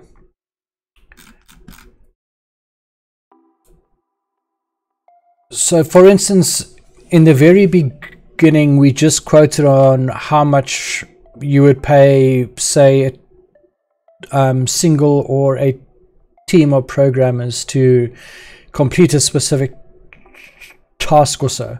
And then I saw a majority of the of the contractors that we use added in more costs. And I thought to myself, but hey, there are actually more. So it generally isn't just the programmers that are working on a specific client. It would be um, someone that is in charge of, of actually managing the project itself. It might be the salesperson. It may be a dedicated project manager or so. Now you paying them, right? Their salaries and everything, and they're spending time working on the on the project, but the client isn't paying for that. They're only paying for the programmers themselves. So we need a way to add things in automatically, um, which would be added to the project totals at a reasonable value. There is a lot of work to make a document like this. Um, yes. So I think it took me about three months to do the LaTeX itself on the template that we use. So this over here, as I said earlier, I, I, I don't know if you were here, but on on the template that we use ourselves, right, we actually have branding on the first page. There's about, I'd say about this much of the first page has got, um, has has a logo um, it has a company name. It has something inside of a block. I wonder if I can actually find that. Hang on. I actually, I absolutely have to find this now. Um, I'll show you what that looks like. Um, I think there's another place where I have that. And it is an example of LaTeX. Just give me one moment. I'll show you what our actual thing has. But yeah, um, I think the, the, the um, the LaTeX of it took about three months to do. And then the quotes and everything was over a span of years. Um, it isn't something that was added all at once like I'm trying to do at the moment. It's something that has been there for quite a while, or that has been actually worked on for quite a while. But here we go. I think I have an example here. Ah, here we go. Okay, cool. Now, you can't see too many details on it, which is what I was hoping for. Check at this. This is what it actually looks like. It might have changed slightly since then to become a bit better, but that's what it looks like over there. So that's the actual template that we use. And you can see there's something that sort of resembles a quote block, one of the very first versions of it. So it basically builds the um, the documents like this over here. It looks quite nice. And then one of the other things that um, that isn't too easy to do with the Perl system that we have at the moment, but is a lot easier to do with the with the with the Python system is swapping out the branding. So what we're going to have is we're going to have branding for the different sort of business units or the companies that we have and you'll be able to swap the branding out. So if you need to create a proposal very fast and you've done a similar a similar proposal for one of the other clients of one of the other business units or so, you can then just swap the branding out. So it'll regenerate everything but with a completely different branding on the page. So that's what our branding actually looks like at the moment. Except I think some things have been improved. Um, but yeah, that took about three months to do just the layout of it, how that is at the moment. Um, and I've hired quite a few people to actually assist with that. That was, I'm not entirely all me. I did majority of the templating of it and then any of the problems that I was unable to solve, I then um, I then basically hired I think two or three professors or so that were quite well educated in terms of finding issues and and fixing latex issues. and they solved some of the other things. Like as soon as you start displaying stuff at certain positions on the page and you start including like from page two on and everything, there's some quirks, right? Like one of the problems that they solved if I switch back to our template over here, I don't, uh, that branding is blank at the moment but there's a lot of provision here for some of the other things like oh shit I don't actually think it's in here. So um, the style on page one right the actual shit that goes inside of this section um, each one of those lines had to have a percent sign at the end of it so that was one of the issues that I had that I had to hire someone to try and figure out why things weren't displaying properly. And over here as well. Um, that's the footer box that's displayed at the bottom of the pages. And that had to have a percent sign as well at the end, else this display is all fucked up. So yeah, um, it did take quite a while to do that but hopefully I can um, I can actually provide a decent template with maybe some mock-up um, branding and everything for for others to use this. So you don't have to go through all the pain that I went through. So out of the box or so you would then have these pretty looking sections and everything and you would have sort of a I'm looking quotes and stuff like that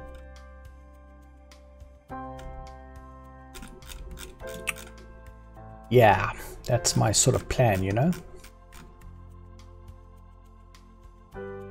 Um, okay, so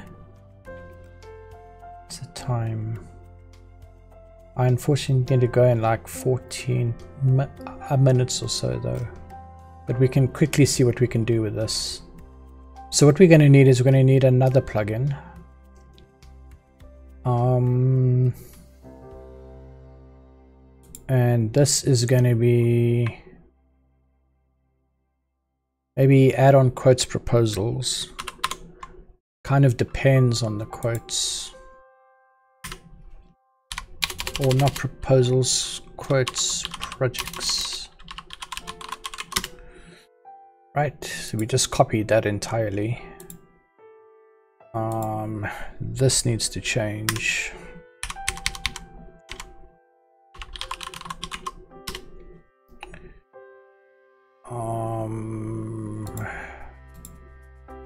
this is going to be projects. Oh, let me just quickly delete some a few mails here. Just give me a sec. Okay. Um.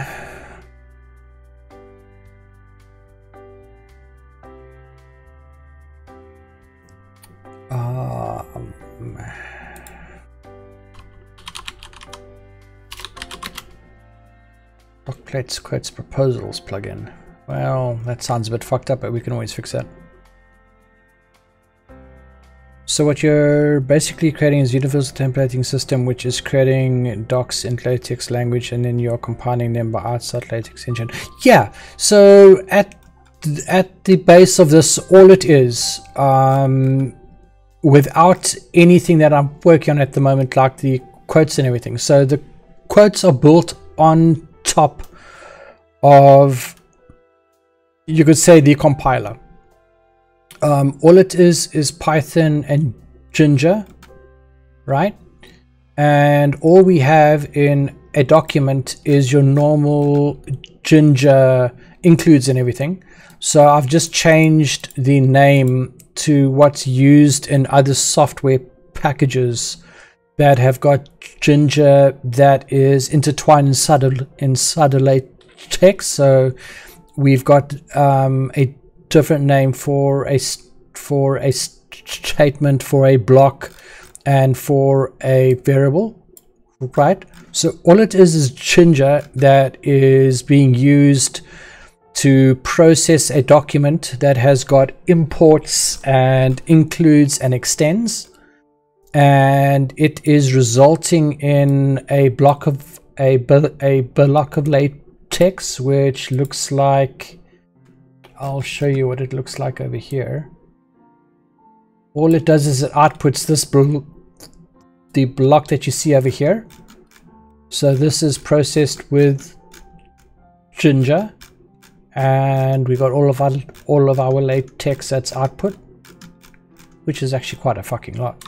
It's this um, it's this block over here.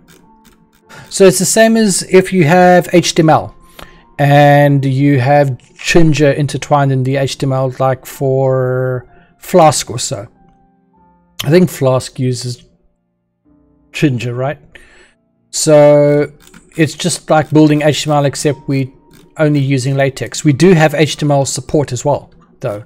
You can actually see over here, I've got a HTML. HTML is somewhere over here. WeasyPrint. Here is a HTML one, which is blank. Just give me a moment. Let's try open that again. It's still blank. Well, that's weird. Hang on, let's try regenerate that. So I have HTML support. Um, can we just go run? I don't know if this is going to work though, but we can try.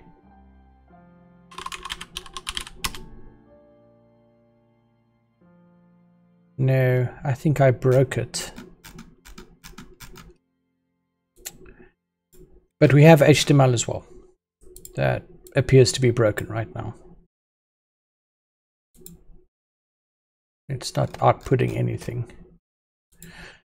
But yeah, so um, we can generate PDFs from HTML with CSS and everything.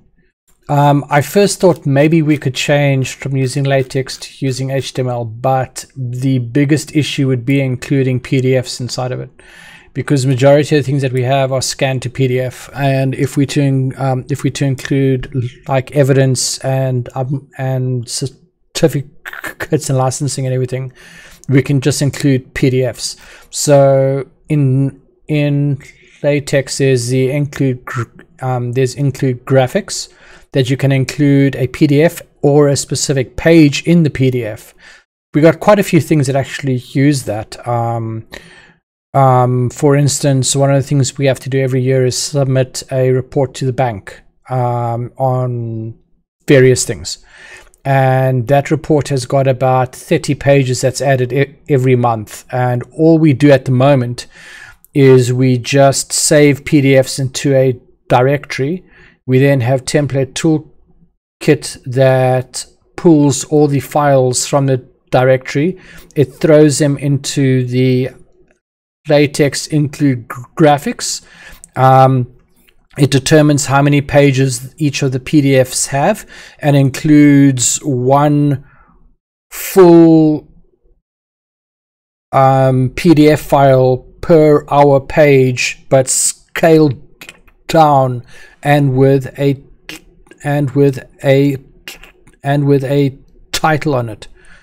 So it automatically pulls PDFs into a report that we have to send. And it's so much easier doing it that way than it is uh, manually trying to get all that information in. I mean, I think last year's report we sent was over 300 pages long.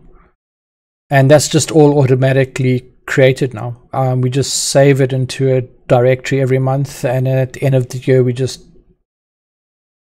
generate the report. Easy as that.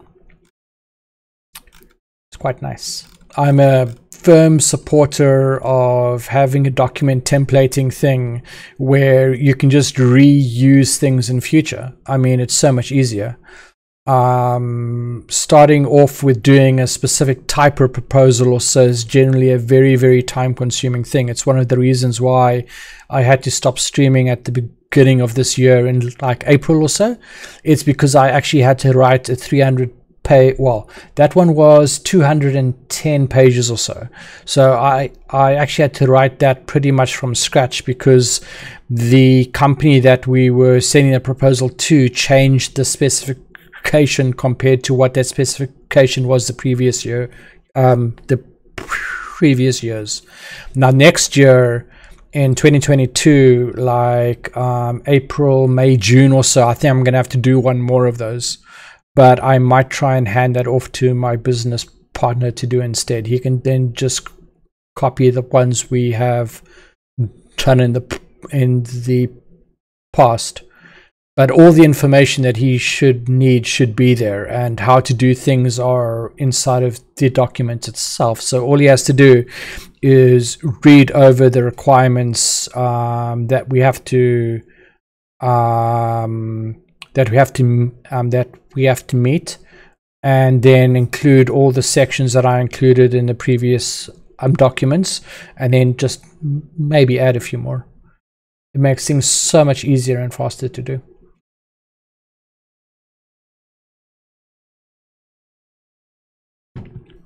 And now what we, we can do with these quotations as well is seeing as we have access to the objects itself we could then say as per above which is being billed at so and so amount for instance um, so just so you can see how nice this is actually to use we can say testing um, day two quotes is costing you an enormous and we can put this in bold which is textbf and we can go var and we can go um, day two quotes dot total price maybe is going to work? I'm not sure. We can see if that does anything. So this is why I'm exposing it as objects as well. So you can just use things everywhere. So if you change the value of the quote you now just do not um, you do not have to go everywhere and change everything. It's all automatic. Um, so if you templated a proposal and you want to say the same things for a different client, you'll be able to do that. Where the fuck is that test gone now? Testing. It should be here somewhere. There we go. So you can add the values and everything. What does the front end of this look like? Um, at the moment, it looks exactly like this VS Code. there isn't, um, we do not have one at the moment.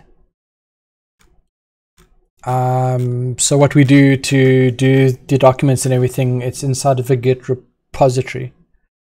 So we just copy the text file, open it in VS Code, and then edit it. Because VS Code is actually very easy to use for almost anything. I mean, it's easier, to be completely honest, it's actually easier than Vim to be able to change something like this in.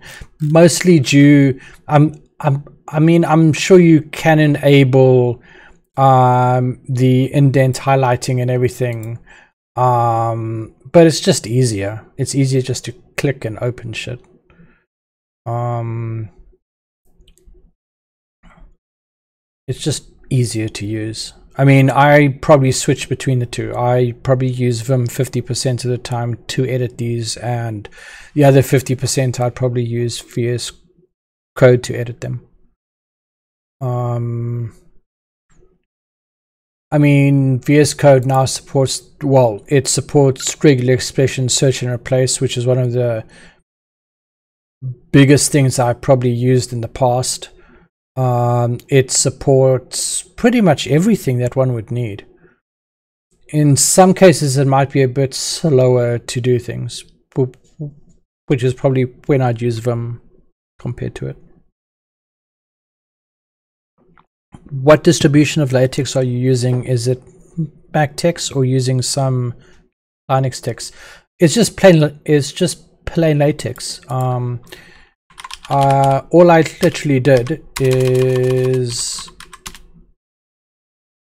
um, I've got TeX Live bin, um, fonts extra. So bin I think pulls in core. I got fonts extra that I need. Um, I think I got latex extra. I can't remember why. Um, I don't know if I need pictures. I have got PSTricks because that's used for some of our branding, I believe. But that I think is all that I'd use. So it's just normal Linux packages, and they're available under Ubuntu and Debian as well. So the template toolkit version that I have of this, right? Um, it had historical. There's historical things here. I'll show you. That goes back all the way to Debian Stretch, I believe. Yeah, so there's a compatibility thing that we had. Um, so we pretty much just had the same packages installed under Debian Stretch. Um, it's when we moved our invoice generation from HTML to PDF when we integrated the Perl version of this into our accounting system which was back in the days of Debian Stretch, which is what it used to run at that time. And we were testing out on Arch um, with PDF compatibility set to 1.17. It was breaking Debian Stretch, and then it was breaking an Ubuntu server as well. So we had pretty much two systems that were being used in production to generate the PDF invoices and everything and we had Arch that that I was using and that my other staff were using to do the templating and everything. And we had compatibility issues between it, but this is only going to be used with PDF compatibility 1.17 and above in future. And we'll probably have to add the versioning here based on the operating system version in future when it does change. Yeah. Okay. Uh, what's the time? I need to. Okay, 11 more minutes and I must be off. Um, so yeah, BW Millen, there's no front end at the moment, mate. But in future, what I plan to have, right? Um, majority of this would probably be configurable in a front end. So you would have drop downs in the front end that you could pick to be able to um, generate the quotation or so. It's why I'm using YAML here. Um, so what one could actually do over here. So my probably in a few days or so, once we've got the proposal sorted out, we can then pull these details in from a file. Now, what that is going to be able to do is this section you see would have client details in it. It would have GPS locations and everything.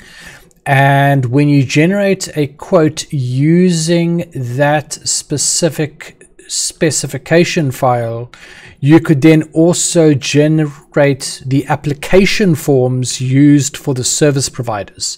So the quote would generally have all the services we need on it in order to provide the service. The reason why we've got the item group is so we can then group every single service we need to provide that service to our client inside of the quote. So if we change any component of its pricing, our purchase pricing, or anything like that, we get up to um, up to date um, pricing that we can then quote a client. The second benefit to that is we can now take the specification and we can fill out application forms with that. So the application forms generally at the moment after one of our providers changed how they do things is it's generally about 130 values that you need to enter in. Um, now we can pretty much do all of that automatically. So there's 130 values plus a signature at the end of the page.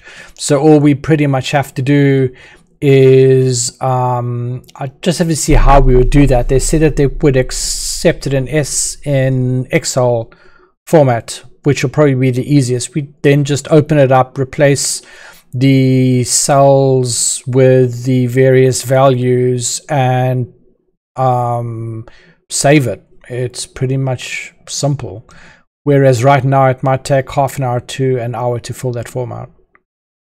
So that's one of the other benefits we have of being able to display each and everything that we need is we can then throw that into a script or so that fills out a form.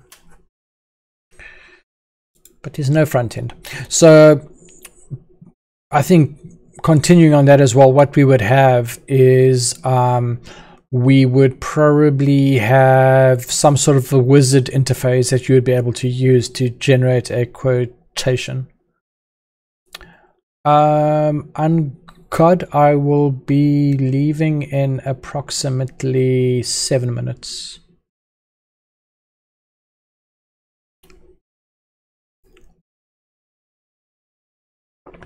So yeah, um, there's some interesting things that we can do with automation here. So, oh, it's not going to be proposals, it's going to be projects.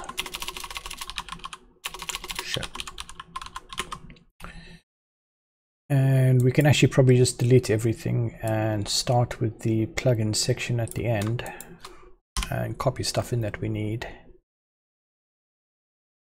Quotes, projects, filter, plugin.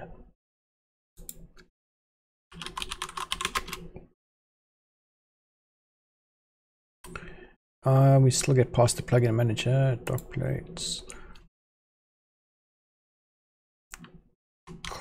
project quotes. Maybe it can be called project. Uh, it has to be quotes projects because it's a plugin to, well, it's a plugin above, um, on top of the quotes.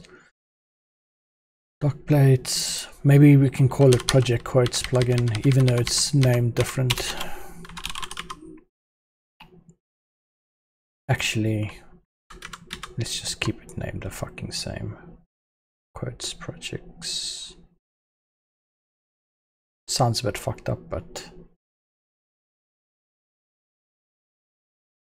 um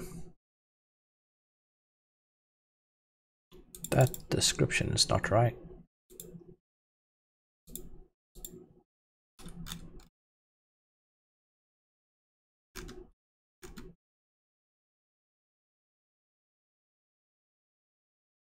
Um, initialize plugin. Save the plugin manager, which we use in the factories below.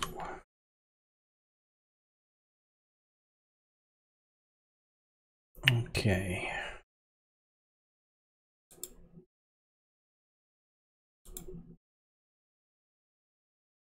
Um,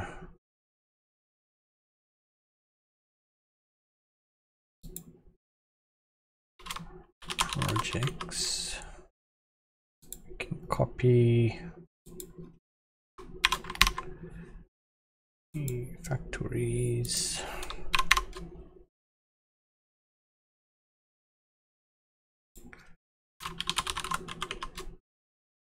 Okay.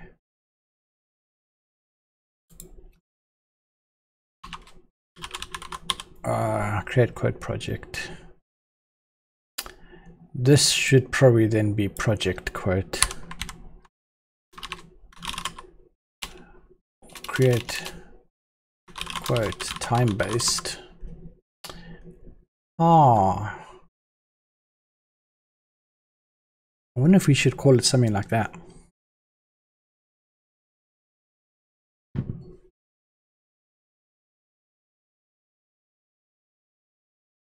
maybe create quote time.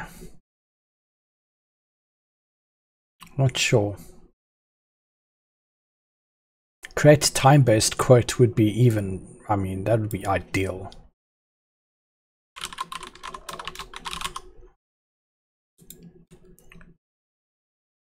Hmm. maybe we'll just call it that.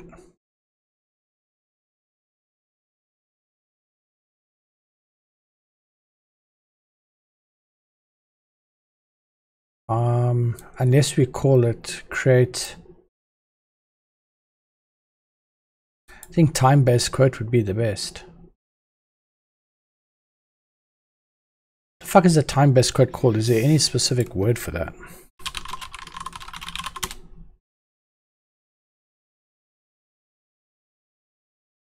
I don't think so.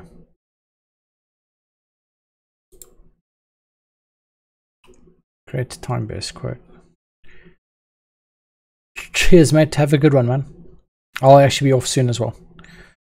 But I hope you sleep well and have a great festive season.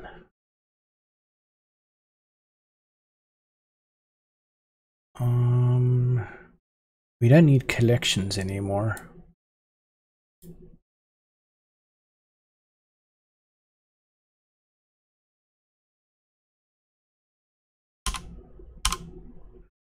I don't think.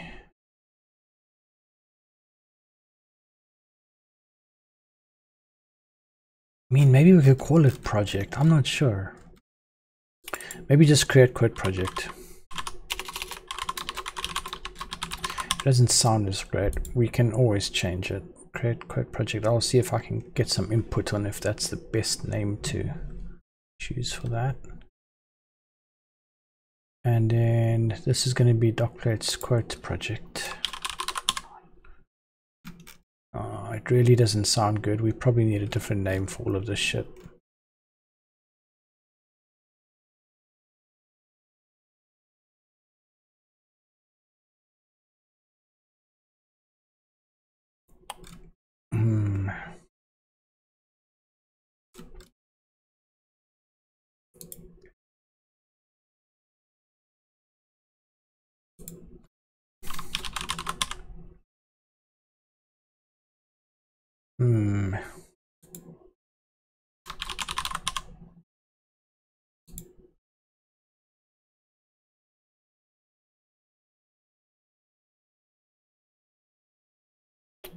Okay. Anyway, I need to be off, guys. Um, we shall probably continue on Tuesday morning. Monday here is going to be a public holiday. I'm not sure if I'll be streaming over the weekend. There's always a possibility, although I'm not quite sure. Um, we will be then continuing with our project-based quotes or time-based quotes. We can then just decide how we're going to name this shit and see how far we get with that. Anyway, I hope everyone has a nice morning, afternoon, evening and you enjoy your day and the rest of the following days to come up. And I will catch you on the flip side. Have a good one, guys. Cheers, man.